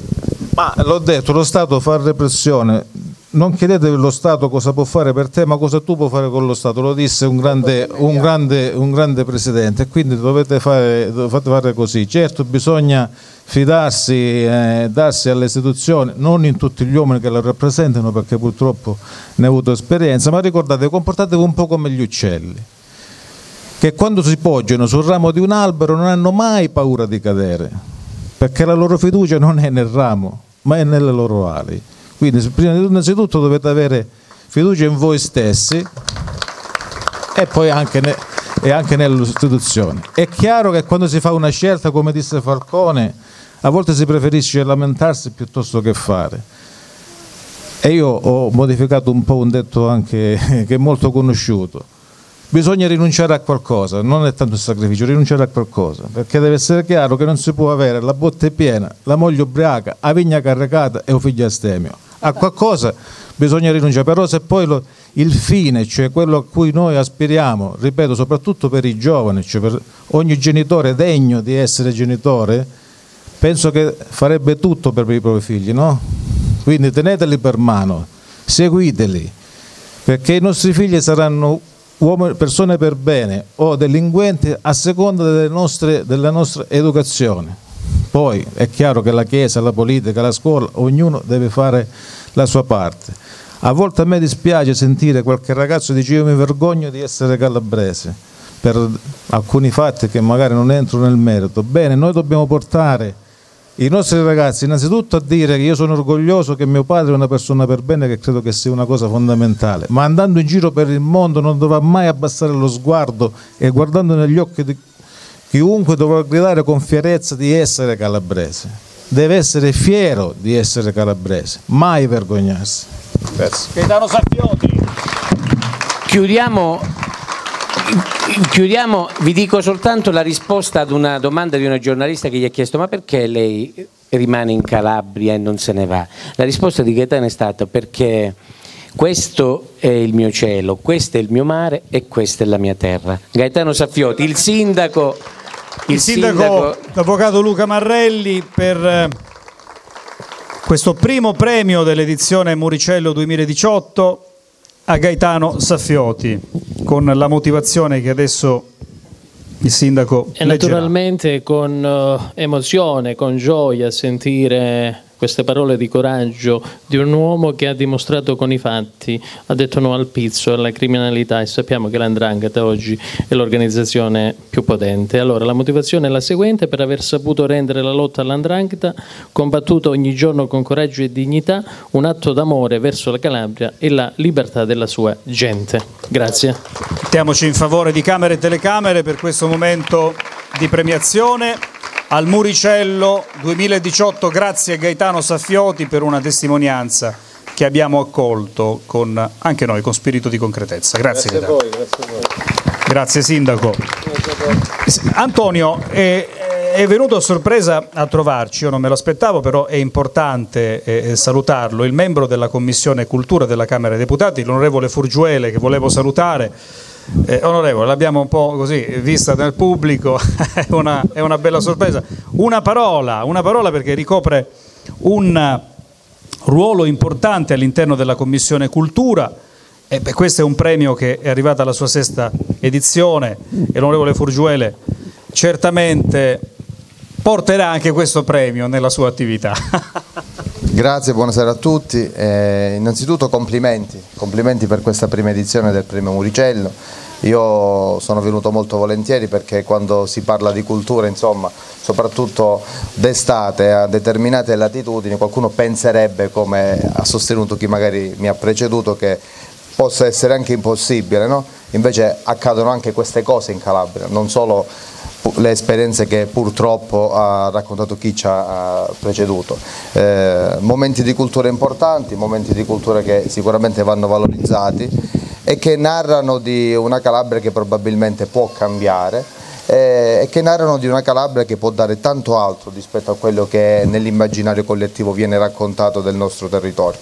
Io eh, faccio i complimenti agli organizzatori non è facile insomma, eh, interessare le persone di cultura eh, d'estate, così nel pieno dell'estate. Eh, faccio i complimenti a chi mi ha preceduto, a chi è stato premiato, chi verrà premiato. Ho sentito parlare eh, di imprenditoria che è, è molto coraggiosa farla qui in Calabria, ho sentito parlare di editoria che è un tema molto importante, dobbiamo ricordare che bisogna tutelare il diritto ad informare, ma bisogna tutelare anche il diritto ad essere informati quindi eh, approfondire quello che eh, è la macchina del fango che spesso e volentieri viene utilizzata per combattere dei nemici e non sempre viene utilizzata diciamo, l'editoria per fare un'editoria di qualità e per informare effettivamente le persone. Noi stiamo lavorando nella Commissione Cultura molto alacremente anche a questo, quindi stiamo lavorando sull'album eh, eh dei, dei, giornalisti, su quello che è, è quella parte insomma, che il Ministro, eh, i sottosegretari stanno, stanno analizzando e su tante altre cose che riguardano il nostro territorio. Ce la mettiamo tutta, con eh, il, questo nuovo governo abbiamo approntato nei primi 60 giorni una serie di iniziative i cui effetti probabilmente si riverbereranno e speriamo positivamente sul nostro territorio nel più breve tempo possibile, so, ci sono tante altre iniziative. A proposito di, eh, di mafia il 15 agosto il nostro Ministro degli Interni verrà direttamente per portare una sua testimonianza, per venire a toccare con mano quello che è la realtà, eh, è un po' il suo modo di fare, no? quello di non attenersi a quelle che sono diciamo, eh, le voci che arrivano o magari anche solo gli articoli di giornale, ma venire proprio a sacrificare una giornata importante magari della propria vita eh, o della propria stagione estiva per venire a passarla con, con il territorio. Grazie. Grazie onorevole, buon lavoro in una commissione centrale per lo sviluppo della cultura e della divulgazione scientifica oltre che per la scuola. Antonio. Domenico, però, permettimi, io mi auguro che il Ministro degli Interni si occuperà di meno dei Vucumpra e un po' di più di, di, di, problemi molto seri che ci sono come quelli della eh, criminalità eh, organizzata in, in Calabria, perché l'altro giorno, come tu ben sai, hanno ucciso in, in, in uh, spiaggia, ovviamente c'è la rete eh, chiaramente eh, esagera in tutta una serie di condizioni, ma tu sai che in spiaggia hanno ucciso eh, una persona ehm, e il problema non è soltanto l'atto oh, criminale che è stato compiuto, ma il problema è che quella è stata una tentativo e un, un, chiaro atto intimidatorio, dire alla, alla, società di quel territorio guardate che noi facciamo quello che vogliamo senza interessarci di nulla. Ecco, magari se si pensasse un po' di meno a quei poveri cristiani che vendono le cose in, in, sulle spiagge e un po' di più invece a questi gravissimi episodi che si verificano sarebbe una cosa opportuna, ma questo hai ragione tu e la valutazione dell'azione governativa, tu sai che io e te abbiamo un rapporto di grande franchezza personale, è una cosa che poi dovrà essere valutata con il tempo. Io mi auguro che Matteo Salvini, che è sicuramente lontano da logiche di questo genere, sappia fare il Ministro degli Interni in questi anni con, con l'obiettivo principale di, di, distruggere quello che è il cancro di questa nazione e soprattutto del Sud, che è la criminalità organizzata. Io ti ringrazio però per, la, per essere stato stato qui presente perché comunque è un atto di attenzione, tu sei una persona, sai che ci conosciamo da molto tempo e ti riconosco tante eh, battaglie il coraggio di aver preso delle posizioni in, in momenti molto difficili. Mi sono permesso di eh, dire, esprimere questa mia valutazione perché conosci anche qual è la mia posizione su determinate cose. Per intanto grazie di essere stato presente qui con noi e noi continuiamo con l'ultima... Grazie onorevole con l'ultima Ok, poi abbiamo fatto una bella Sì. par condicio, Bausone e Forgiuele, eh? Sì. Bausone del Partito E Democratico. poi qua Forgiuele- l'ho accompagnato anche Totò, che qui eh, lo, lo vedo qui davanti a me, che è una persona a cui voglio un bene dell'anima, perché lo sa. Noi spesso ci scontriamo sulle posizioni, ma lui sa che ho un affetto nei suoi riguardi enorme perché è una persona per bene, un grande combattente e ce ne fossero, ce ne fossero di, di- di- di questo genere in giro. Però chiuso questo capitolo, noi andiamo alla conclusione perché poi dovremmo passare, come giusto che sia, dedicare il tempo necessario ai nostri ragazzi. Noi abbiamo cercato di fare in maniera più breve possibile il nostro percorso, ma sapete che non è facile, anche perché eh, avere per esempio come eh, tra di noi, ma gente come Alessia, come Agostino, eh, come vedrete adesso Angelica, ma Gaetano Saffioti, che cui lui mi, mi diceva prima, Antonio, io non so non so parlare, vabbè, forse tu, io ti ascoltavo con gli occhi di fuori perché ogni volta che lo sento è un grande piacere. Chiudiamo la questione del premio Muricello in modo da dedicarci poi ai ragazzi con il riconoscimento ad Angelica Artemisia Pedatella. Angelica Artemisia Pedatella.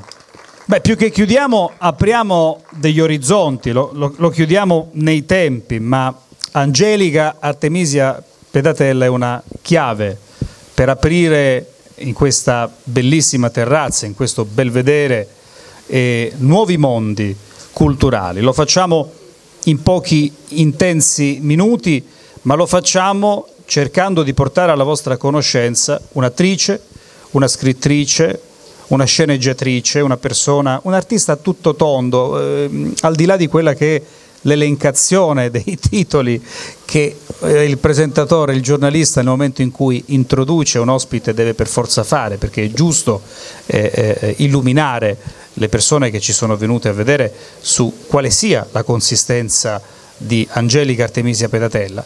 Ecco, al di là di questo, eh, noi abbiamo a che fare con una personalità che nonostante sia così giovane ha un grande cursus honorum, come dicevano i, i- i latini, alle spalle, fatto di tanta arte, di tanta classe attoriale, fatta di classici, fatta del coraggio di riportare Shakespeare, i vari classici, in vita attraverso delle performance di cui non bisogna assolutamente vergognarsi. Prima parlavamo del pudore e il pudore nel teatro, quest'arte che tu mastichi alla grande Artemisia, negli anni ha portato molte compagnie, molti registi, molti attori a eh, cercare forse di alleggerire l'imponenza eh, di grandi autori come Shakespeare, dico Shakespeare ma potrei dirne anche altri, e cercando di innovarli, cercando di restylizarli, cercando a mio parere anche di sminuirli. Tu invece mi dicevi una cosa, mi hai sempre detto una cosa, noi dobbiamo avere il coraggio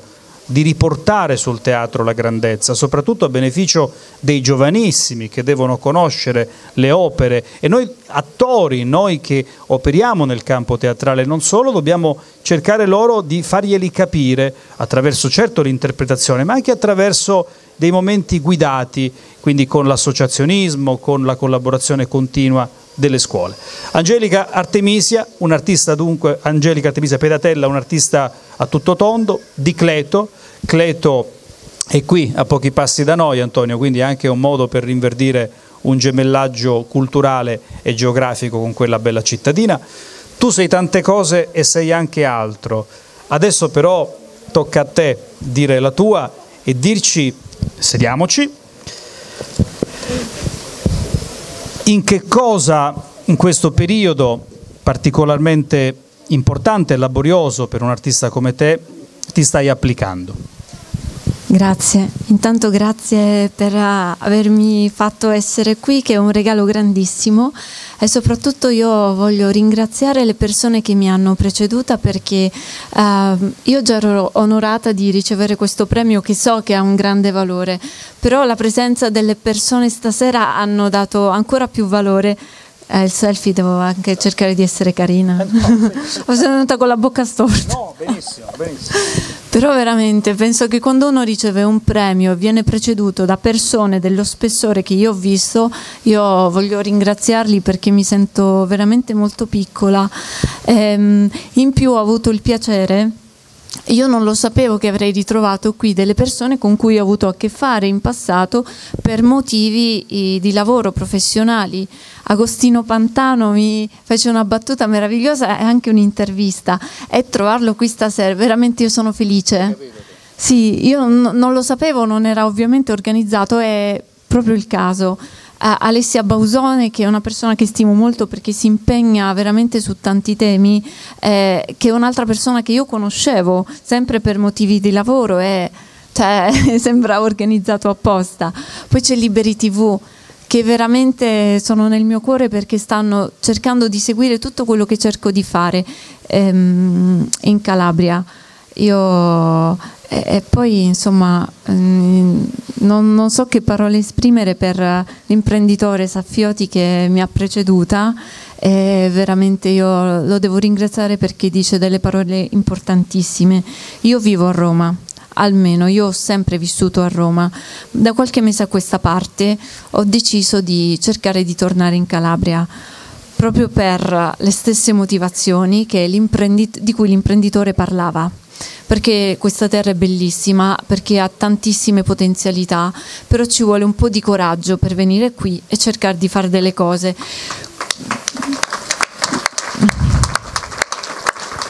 Un bel po'. Eh, ovviamente per il mio mestiere Roma è, è, facile, è, è, più facile, non è facilissima, però è più facile. Ehm, solo che Roma non ha le mie radici, le mie radici sono qui.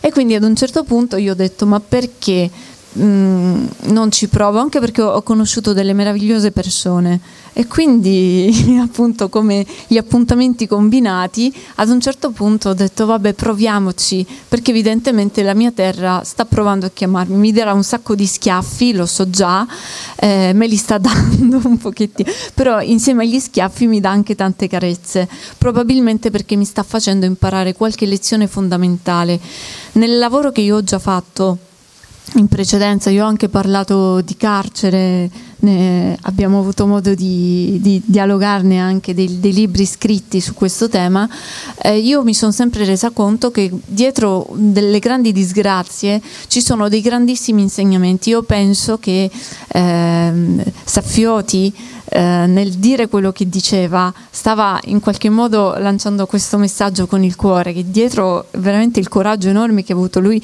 pensa di non essere un eroe, ma tutti noi siamo eroi tutti i giorni, quando siamo in grado di seguire la coscienza.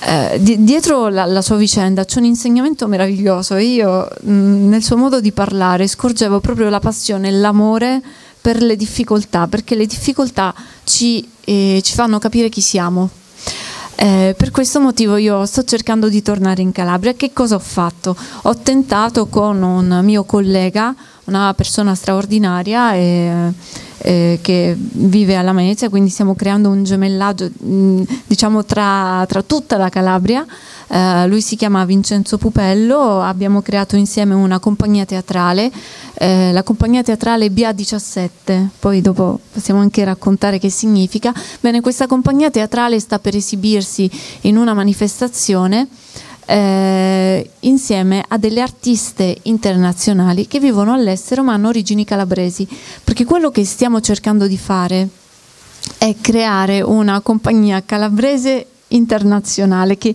sembra uno ossimoro.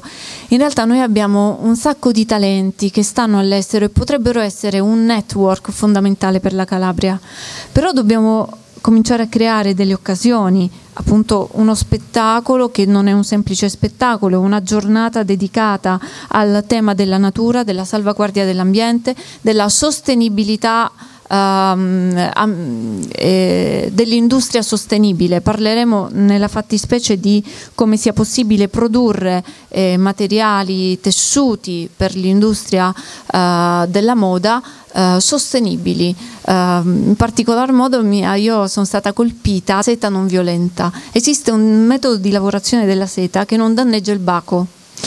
Eh, allora, di queste cose bisogna parlare contestualmente ad uno spettacolo, perché lo spettacolo ci dà la magia, ci affascina, ci fa entrare dritti in quel tema. E poi la nostra mente ha bisogno no, di, eh, di, cogliere una serie di spunti che l'impatto emotivo non sempre ci permette di razionalizzare. Quindi quello che stiamo cercando di fare, e parlo al plurale perché io mi sento solo una rappresentante di questo diciamo, piccolo movimento culturale che stiamo cercando di portare avanti con... Ehm, appunto con questi artisti internazionali, con Vincenzo Pupello, con gli artisti che partecipano ora a questo evento. E poi c'è appunto il, il, il, teatro, al di là di quella che è l'innovazione a cui Angelica e altri stanno lavorando, perché sarebbe bellissima questa compagnia teatrale internazionale. E voi potreste fare qualcosa uh, di vostro, però nonostante la vostra bravura, nonostante i vostri impegni, pensate in grande e questa è una cosa che vi dà già eh, grande, grande merito.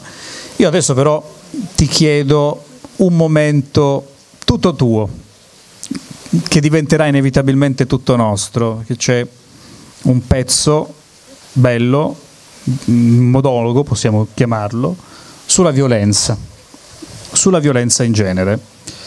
E che fa parte di un lavoro che voi state portando in giro e uno sprazzo io chiederei ad Angelica di recitarlo qui, proprio al Moricello 2018. Un attimo di silenzio, atmosfera. Angelica Artemisia Pedatella, la scena è tua. Grazie, io lo, lo devo presentare un attimo e poi mi alzo.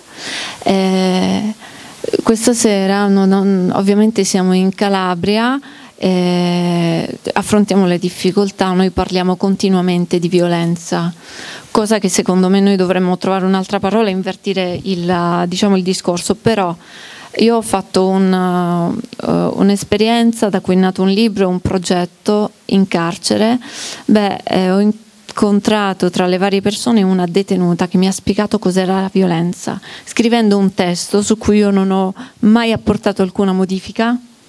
Eh, vi regalo questa sera la consapevolezza che mi ha dato questa persona spiegandomi esattamente cos'è la violenza e una volta che noi l'abbiamo capita sappiamo cos'è, dove si trova e sappiamo anche come combatterla.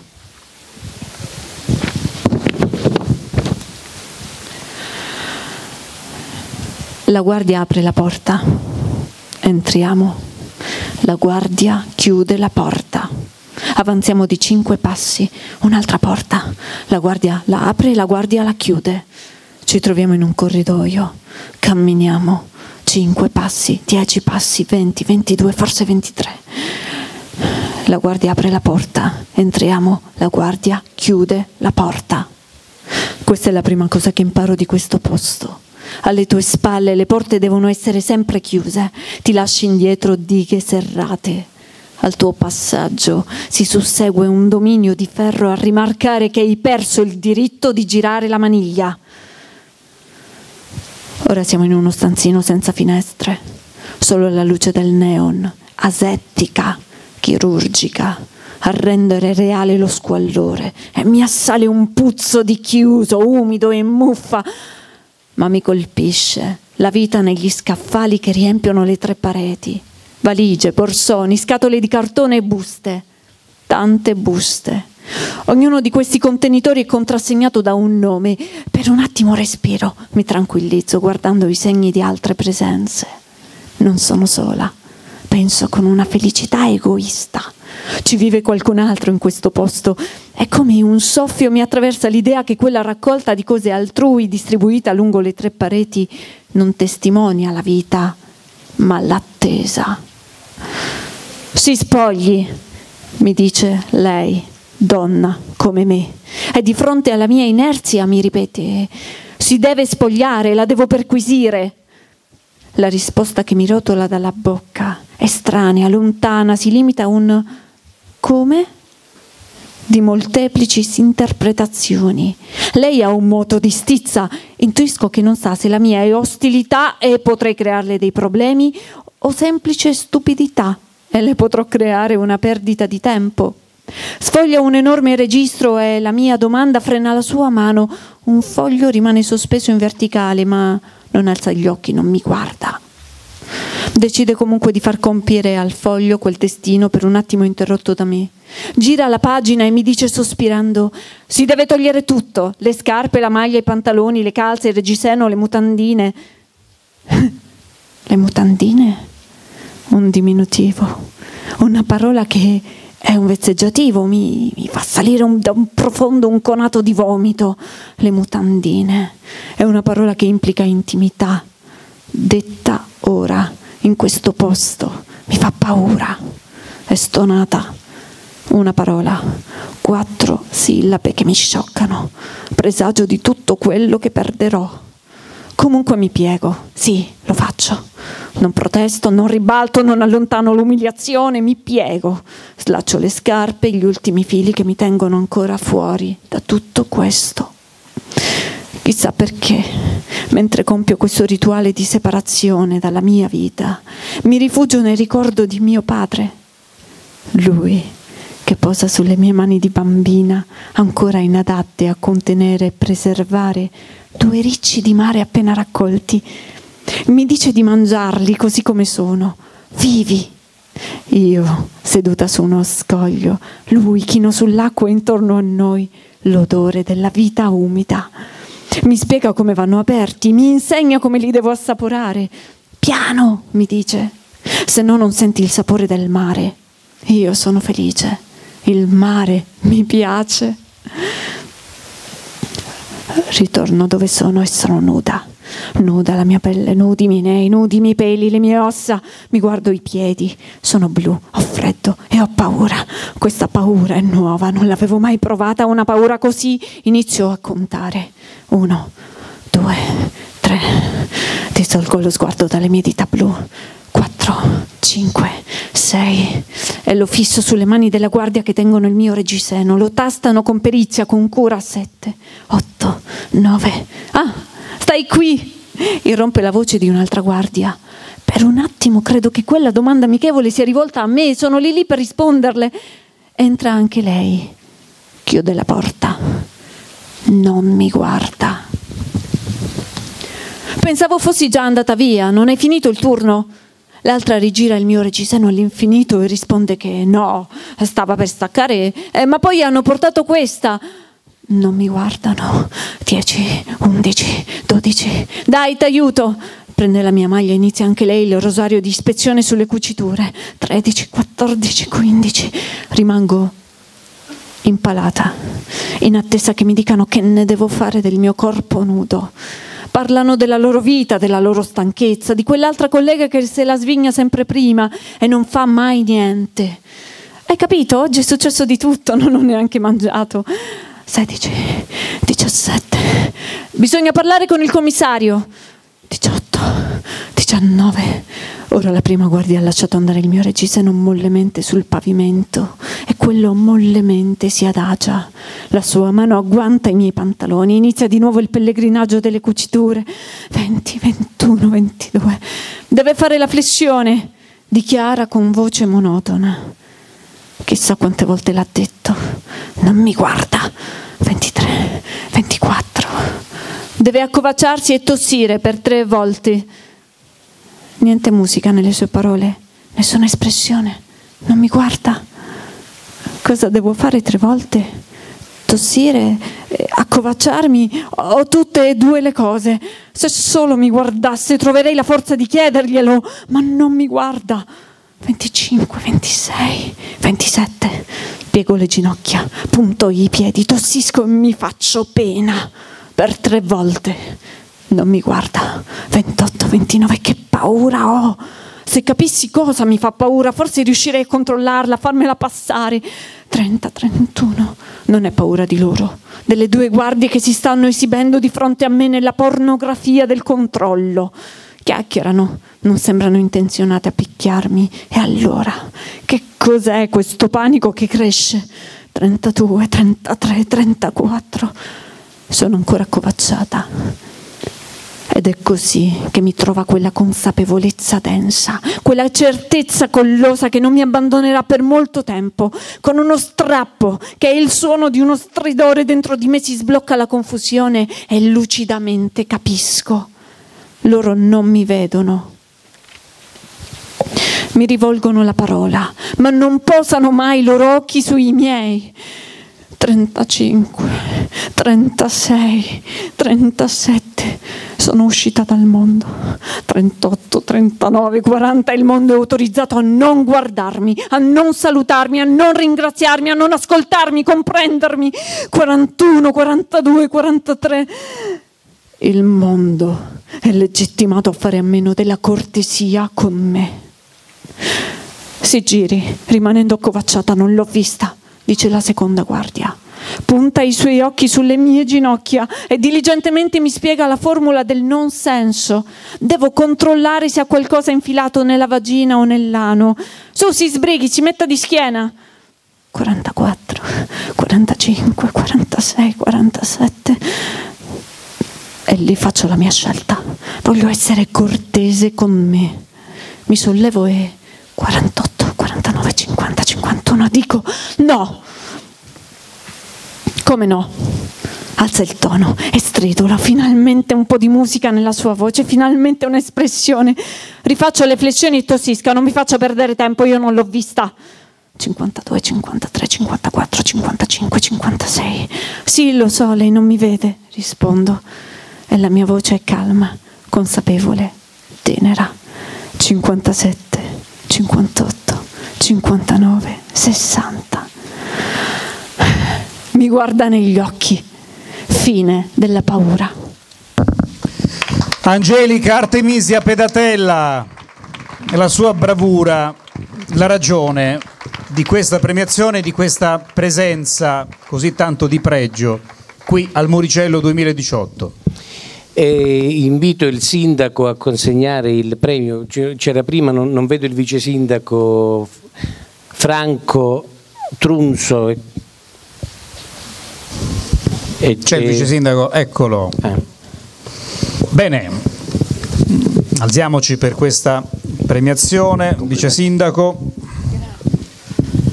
Le motivazioni. Allora, ad Angelica Artemisia Pedatello per la capacità di guardare il mondo oltre i confini e le gabbie che l'uomo ha costruito nel tempo. Grazie, una bella foto di questo momento. Antonio, una foto insieme. Ripetiamo il click. e grazie. grazie. Per questo momento di autentica anche emozione, anche emozione e, e commozione, perché eh, ci hai fatto rivivere attraverso la padronanza anche scenica di questo testo situazioni che sembrano lontane, situazioni di violenza, ma che in effetti purtroppo sono il pane quotidiano. Io vi ringrazio tantissimo, ci tenevo a leggere questo testo che è di una ormai ex detenuta. Um, io non credo nella divisione tra buoni e cattivi, penso che ci siano persone responsabili e, non, e, che non si rendono responsabili delle proprie azioni, persone che hanno coscienza o non ce l'hanno, però tutti hanno qualcosa da insegnare. Questa persona ha commesso della violenza, per questo è stata reclusa, ma allo stesso modo ci ha dato l'opportunità di capire cos'è la violenza. Allora basterebbe guardare le persone negli occhi. Eh, tanti problemi anche di questa terra forse sarebbero un po' più attenuati e penso che questa sia la cosa più importante, l'insegnamento più importante che io ho ricevuto durante i percorsi che ho fatto, che bisogna guardare le persone negli occhi. Grazie veramente. Grazie ancora, grazie Angelica te, Artemisia Pedatella. La consegna dei riconoscimenti eh, per i nostri ragazzi e non a caso siamo eh, tutti qui, il Presidente del Consiglio, il Sindaco, il Vice Sindaco, a testimonianza di un affetto da parte dell'amministrazione nei confronti di questi ragazzi. Il Sindaco. Bene, allora conclusivamente dopo questa serata molto bella un ringraziamento particolare naturalmente ai graditi ospiti che hanno dato lusso ed importanza a questa serata, ma non di meno importante questo momento qua, cioè il premio Muricello è la sesta edizione, ideato magistralmente da Antonio Chiaffallo che ringrazio, come ringrazio anche Ugo Floro che conduce sempre con uh, qualità molto brillante. Questo è un appuntamento che da diversi anni si ripete per noi molto importante di cui siamo orgogliosi. Penso che sia doveroso da parte di un'amministrazione dare attenzione alle esigenze dei giovani, per cui le ragazze e i ragazzi del nostro Paese vengono premiati perché hanno terminato un percorso di studi, si sono distinti nello studio e quindi ringrazio l'intero Consiglio Comunale augurando ai nostri giovani ogni fortuna, ogni bene, ogni successo per un futuro ricco di soddisfazione onde elevare sempre più il nostro paese e renderlo più bello, più pulito, più vivibile. Certo, hanno ottenuto un risultato importante grazie al loro impegno, ma anche delle famiglie che ringrazio perché sono stati seguiti e, e consigliati da loro e anche dagli insegnanti. Quindi i giovani devono essere sicuramente rappresentare un valore aggiunto per il nostro territorio, la nostra comunità. E allora, come dicevo prima, la cultura non ha recinti, non ha colori politici. Ieri c'è stata una bellissima serata dove abbiamo ospitato insieme al Consiglio Comunale, ricevuto oltre 100 scrittori, perché da San Mango d'Aquino voglia elevare, partire questo messaggio e bisogna investire in cultura. Questa amministrazione vuole investire quindi in cultura perché la cultura è un elemento essenziale della nostra società, vettore di crescita non solo economico ma anche e soprattutto civile, perché investire in cultura significa non perdere la propria storia, la propria tradizione, le proprie identità. Quindi è un'amministrazione che io ho l'onore di eh, guidare insieme a tanti giovani che hanno mas- messo la faccia e li ringrazio per quello che stanno facendo quotidiana, eh, quotidianamente. Voglio infine eh, comunicare che siamo riusciti, anche grazie all'aiuto del dottor Armando Caputo, a recuperare una posizione creditizia del Comune nei confronti dell'ex tesoriere del Comune di San Mango d'Aquino, per cui da, uh, da qui a poco uh, porteremo a San Mango un patrimonio inestimabile, cioè opere d'arte che metteremo naturalmente a disposizione dei cittadini, della comunità, del comprensorio e anche delle università.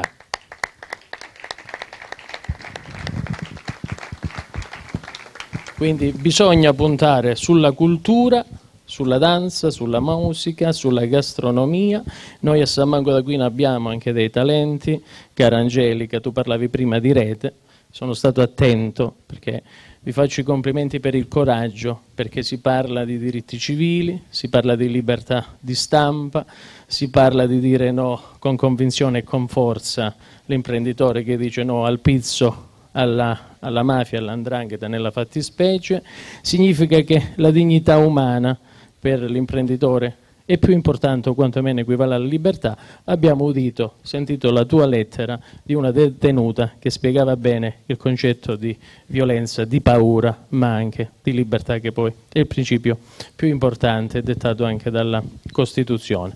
Per cui grazie a tutti grazie agli ospiti, grazie a tutte le famiglie di San Mango d'Aquino e possiamo iniziare allora, caro Antonio, a premiare i ragazzi di San Mango del nostro paese che si sono distinti, come ho detto prima nel, nello studio, diplomati e laureati.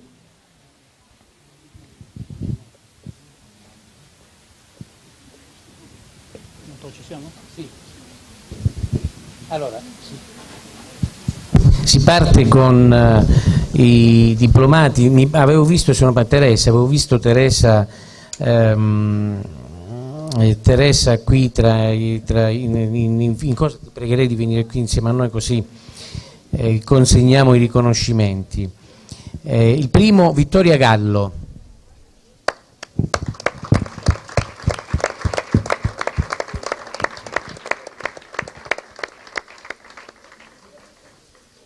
Vittorio Gallo fa parte dei diplomati o laureati? Diplomati. Eh, diplomati in cosa? Ragioneria. Ragioneria. Va bene, ha intenzione di proseguire, di andare all'università? Cosa qua? Eh, psicologia. Ah, psicologia, ok. Complimenti allora. È, è, è, insomma, è una bella, è una bella auguri.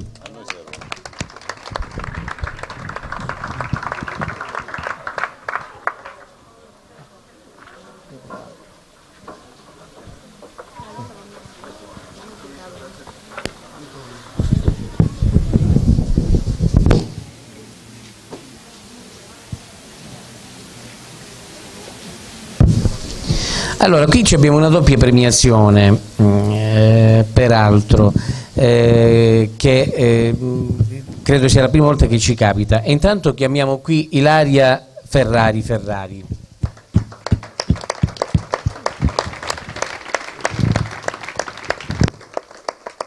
La vedo bella sorridente come sempre, quindi già questo è un biglietto da visita. Allora sono due premi, per il diploma e per aver superato, uh, per aver superato l'ottavo corso della tecnica moderna di danza. Complimenti, allora, te le devi tenere, prego. Ah, Aldo, Aldo, ecco qui.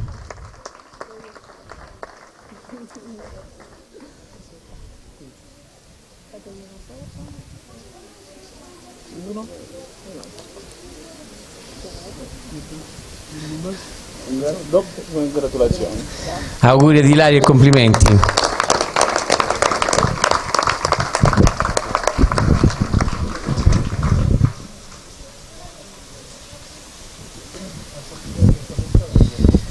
Angelo Manfredi, sempre per i diplomati.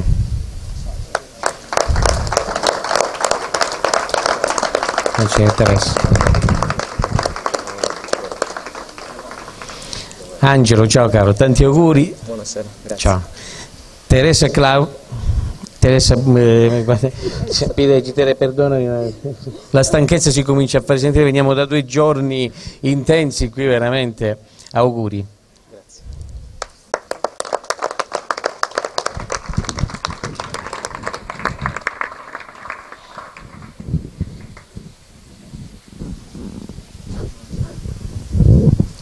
Paolo Ferlaino.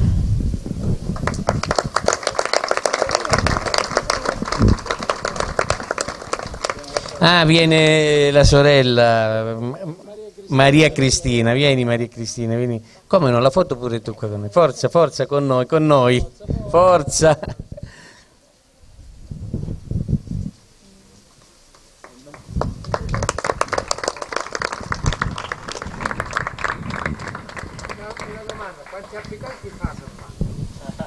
Quanto? Quanti abitanti rimasero?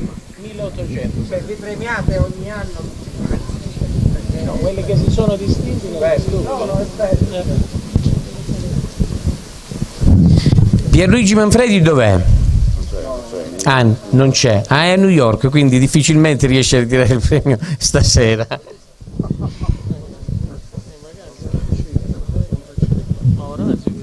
Pierluigi.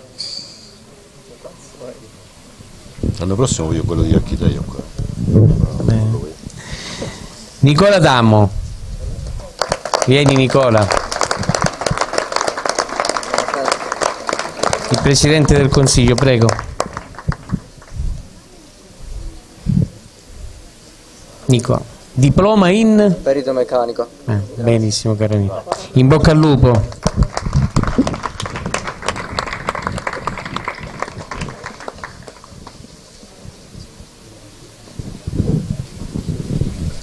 Serena Notarianni.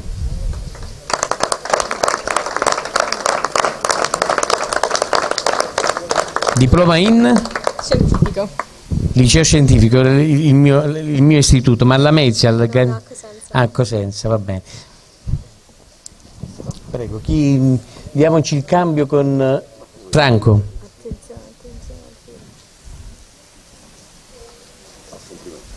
Complimenti e in bocca al lupo.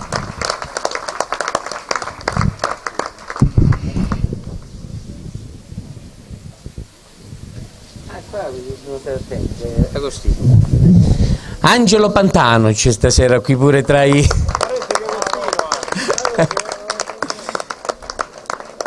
In che cosa? Eh, meccanico. Meccanico, benissimo. Teresa, prego. Ma ho visto...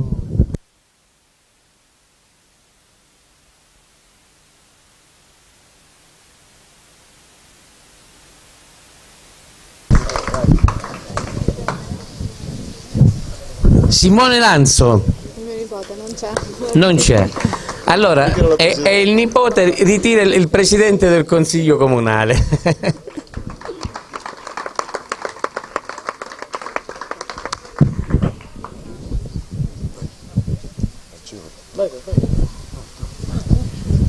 Sabrina Pugliano.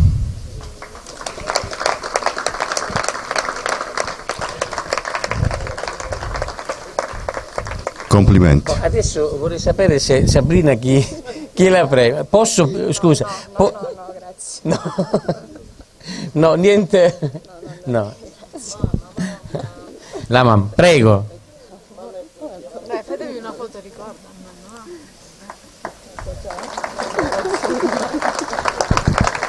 Vai, vai avanti. Damiano Moraca.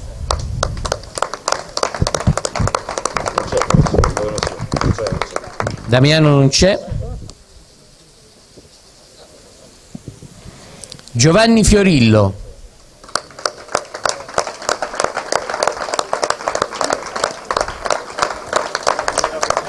Allora, la, la- la prima cosa che gli invidio è- sono i capelli, la capigliatura. Quindi, allora Giovanni, in cosa... Perito informatico, hai intenzione di continuare o cosa ancora stai valutando? In bocca, in bocca al lupo a Damiano, caro, tanti auguri. A Giovanni. C'è qualcuno che vuole venire al posto mio qua perché mi pare che le batterie sono esaurite qua.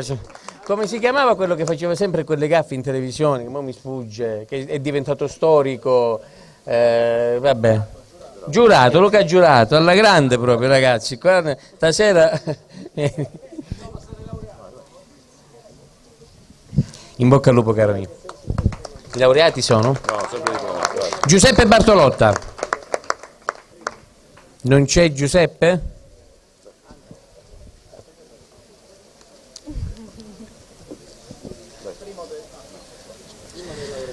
No. Martina Sacco. Martina. La premia?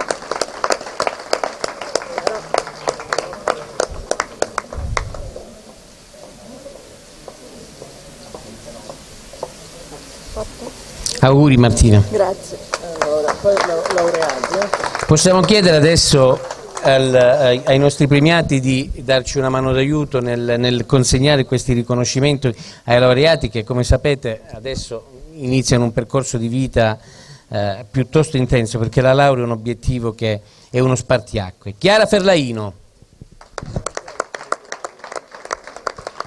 Francesco.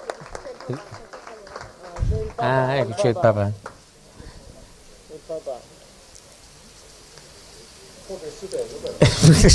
papà. Però me lo dovete consentire, me la voglio fare io questa premiazione con... Grazie. Giuseppe Costanzo. Ecco, il secondo padre, Così che siamo in vacanza. giustamente. Luca, prego. Allora. Questo è per Giuseppe Costanzo, laureato in ingegneria. Ma guarda, Massimo, oh, Devo. con il massimo devo. Allora, tanti auguri allora. Auguri, un abbraccio a Giuseppe.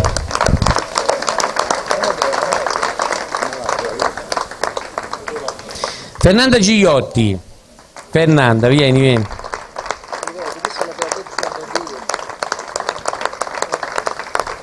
Anche qui abbiamo un 110, posso chiedere ad Angelica di venire a consegnargli...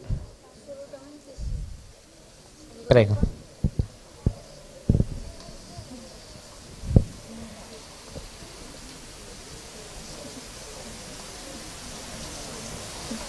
Complimenti.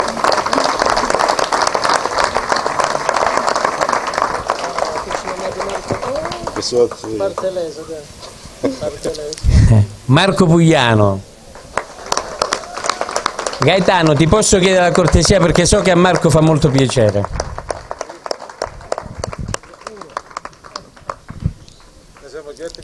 Molto.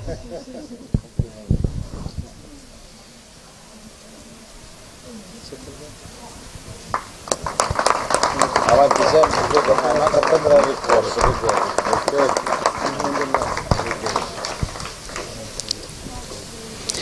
Teresa Isabella. No, 20 minuti pure l'ha vista, eh. Non c'è Teresa, mi pare che non ci sia. Giuseppe Cimino.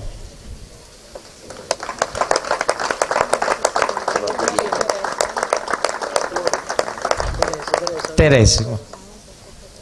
Prego.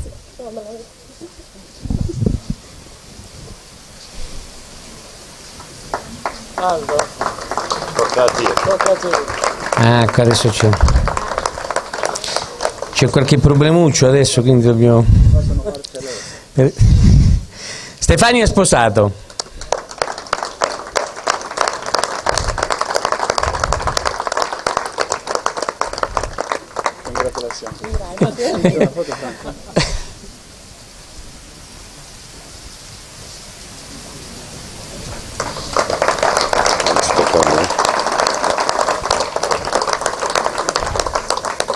Ma Luigi Torquato c'è qua.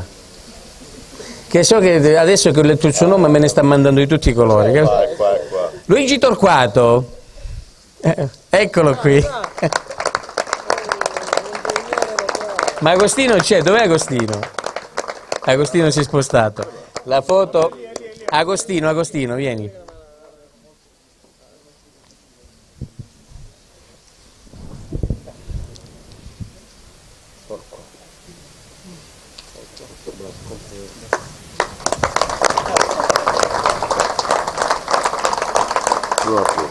Bruno Arcuri.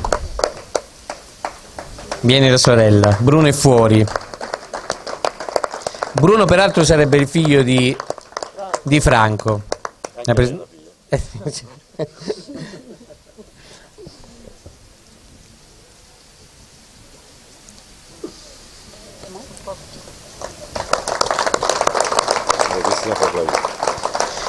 Maria Cristina Ferlaino. Volte torna, no?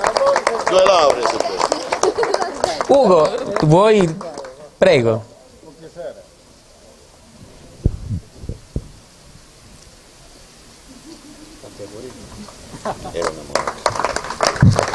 Elena Moraca. Elena,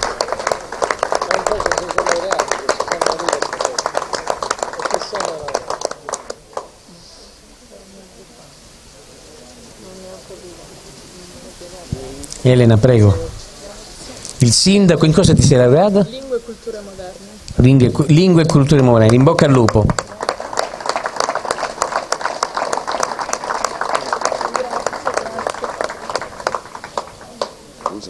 Luisa Notarianni. Non c'è. Giada Orlando. Giada Orlando. Giada Orlando.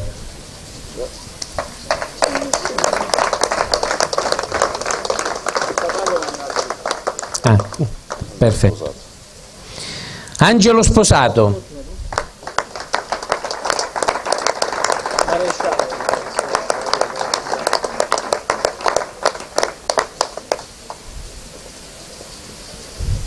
In?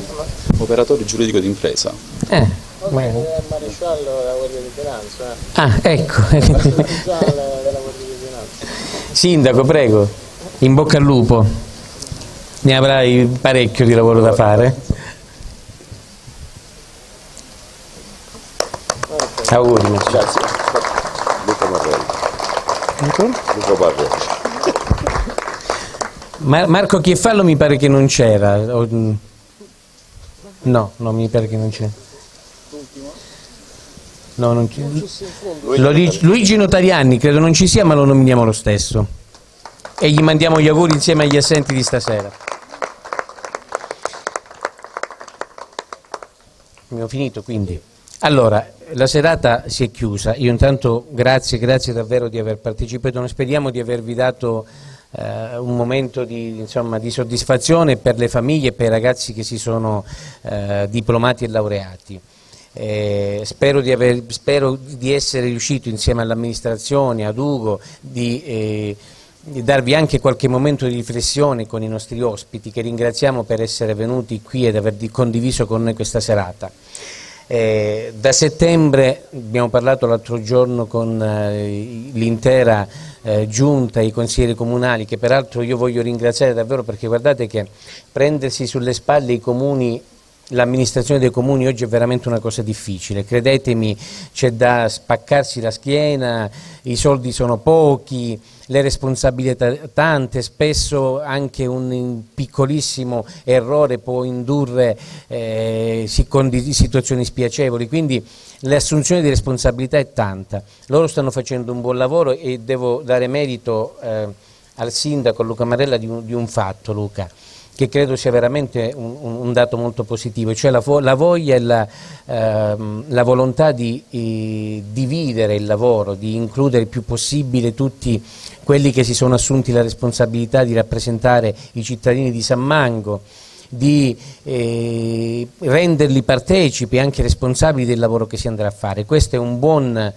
inizio perché la compartecipazione dell'attività amministrativa è un fatto estremamente importante. Sono un gruppo di giovani che hanno voglia di fare, non hanno nulla da eh, chiedere, non hanno interessi da tutelare, eh, vogliono e credo che ci riusciranno perché le, pre le, premesse sono positive, lasciare un segno importante nella storia di questo comune. Quindi ringrazio loro per quello che stanno facendo e per averci dato una grande mano d'aiuto e condiviso con noi il lavoro di questa sera. Ringrazio Ugo Floro che ormai è di casa, con lui condividiamo anche quando siamo in disaccordo su alcune cose, percorsi di vita eh, da, da, da, tempo in memore. E noi abbiamo messo nella, nella eh, locandina conduce Ugo Floro, ma non è il termine esatto perché Ugo non, non conduce questo eh, premio ma lo condivide, lo asseconda, lo sponsorizza eh, e lo consiglia eh, e devo dire che grazie al suo lavoro stiamo ottenendo ottimi risultati. Da settembre si apre un nuovo capitolo che renderà sempre più partecipi i cittadini di San Mango d'Aquino, speriamo di vincere questa scommessa. Voglio dare nel ringraziare gli ospiti e voi per la pazienza che avete avuto, l'ultima ehm, parola al sindaco eh, Luca, eh, l'ultimo saluto, il saluto finale per l'ultimo saluto non suonava tanto bene, il saluto finale per tutti noi. Cari ragazzi, siamo arrivati giunti alla conclusione della sesta edizione del premio Muricello. Vi ringraziamo per la pazienza, la partecipazione Stasera è stato un momento importante, guardate, di dialogo culturale, di crescita. Abbiamo ascoltato le testimonianze dirette e positive degli ospiti, ragazze, ragazzi, professionisti, imprenditori che si impegnano quotidianamente per andare avanti e per far trionfare la cultura, la libertà, la dignità l'uguaglianza, che sono principi eh, fondamentali della nostra Carta Costituzionale. Noi come amministrazione non dobbiamo mai perdere il contatto con la gente, con i cittadini di San Mango d'Aquino, siamo a vostra completa disposizione, se ci sono problemi, ci sono criticità, segnalatele, parliamo, io ringraziando a Dio, ma io non solo, ma tutta la Giunta, i consiglieri tutti, sono a disposizione, hanno un buonissimo dialogo con tutto il popolo di San Mango d'Aquino e insieme vi chiediamo, insieme dobbiamo andare avanti, vi chiediamo di collaborare, di aiutarci perché ci siamo insediati da pochi mesi e ogni giorno ci sono delle problematiche. Noi davanti ai problemi sappiate che non scappiamo, noi se c'è un problema lo andiamo, cerchiamo di risolverlo in maniera diretta. Poi può essere condivisa, non condivisa, si sbaglia, non si sbaglia, punti interrogativi, perché, come, eh, però si poteva fare meglio.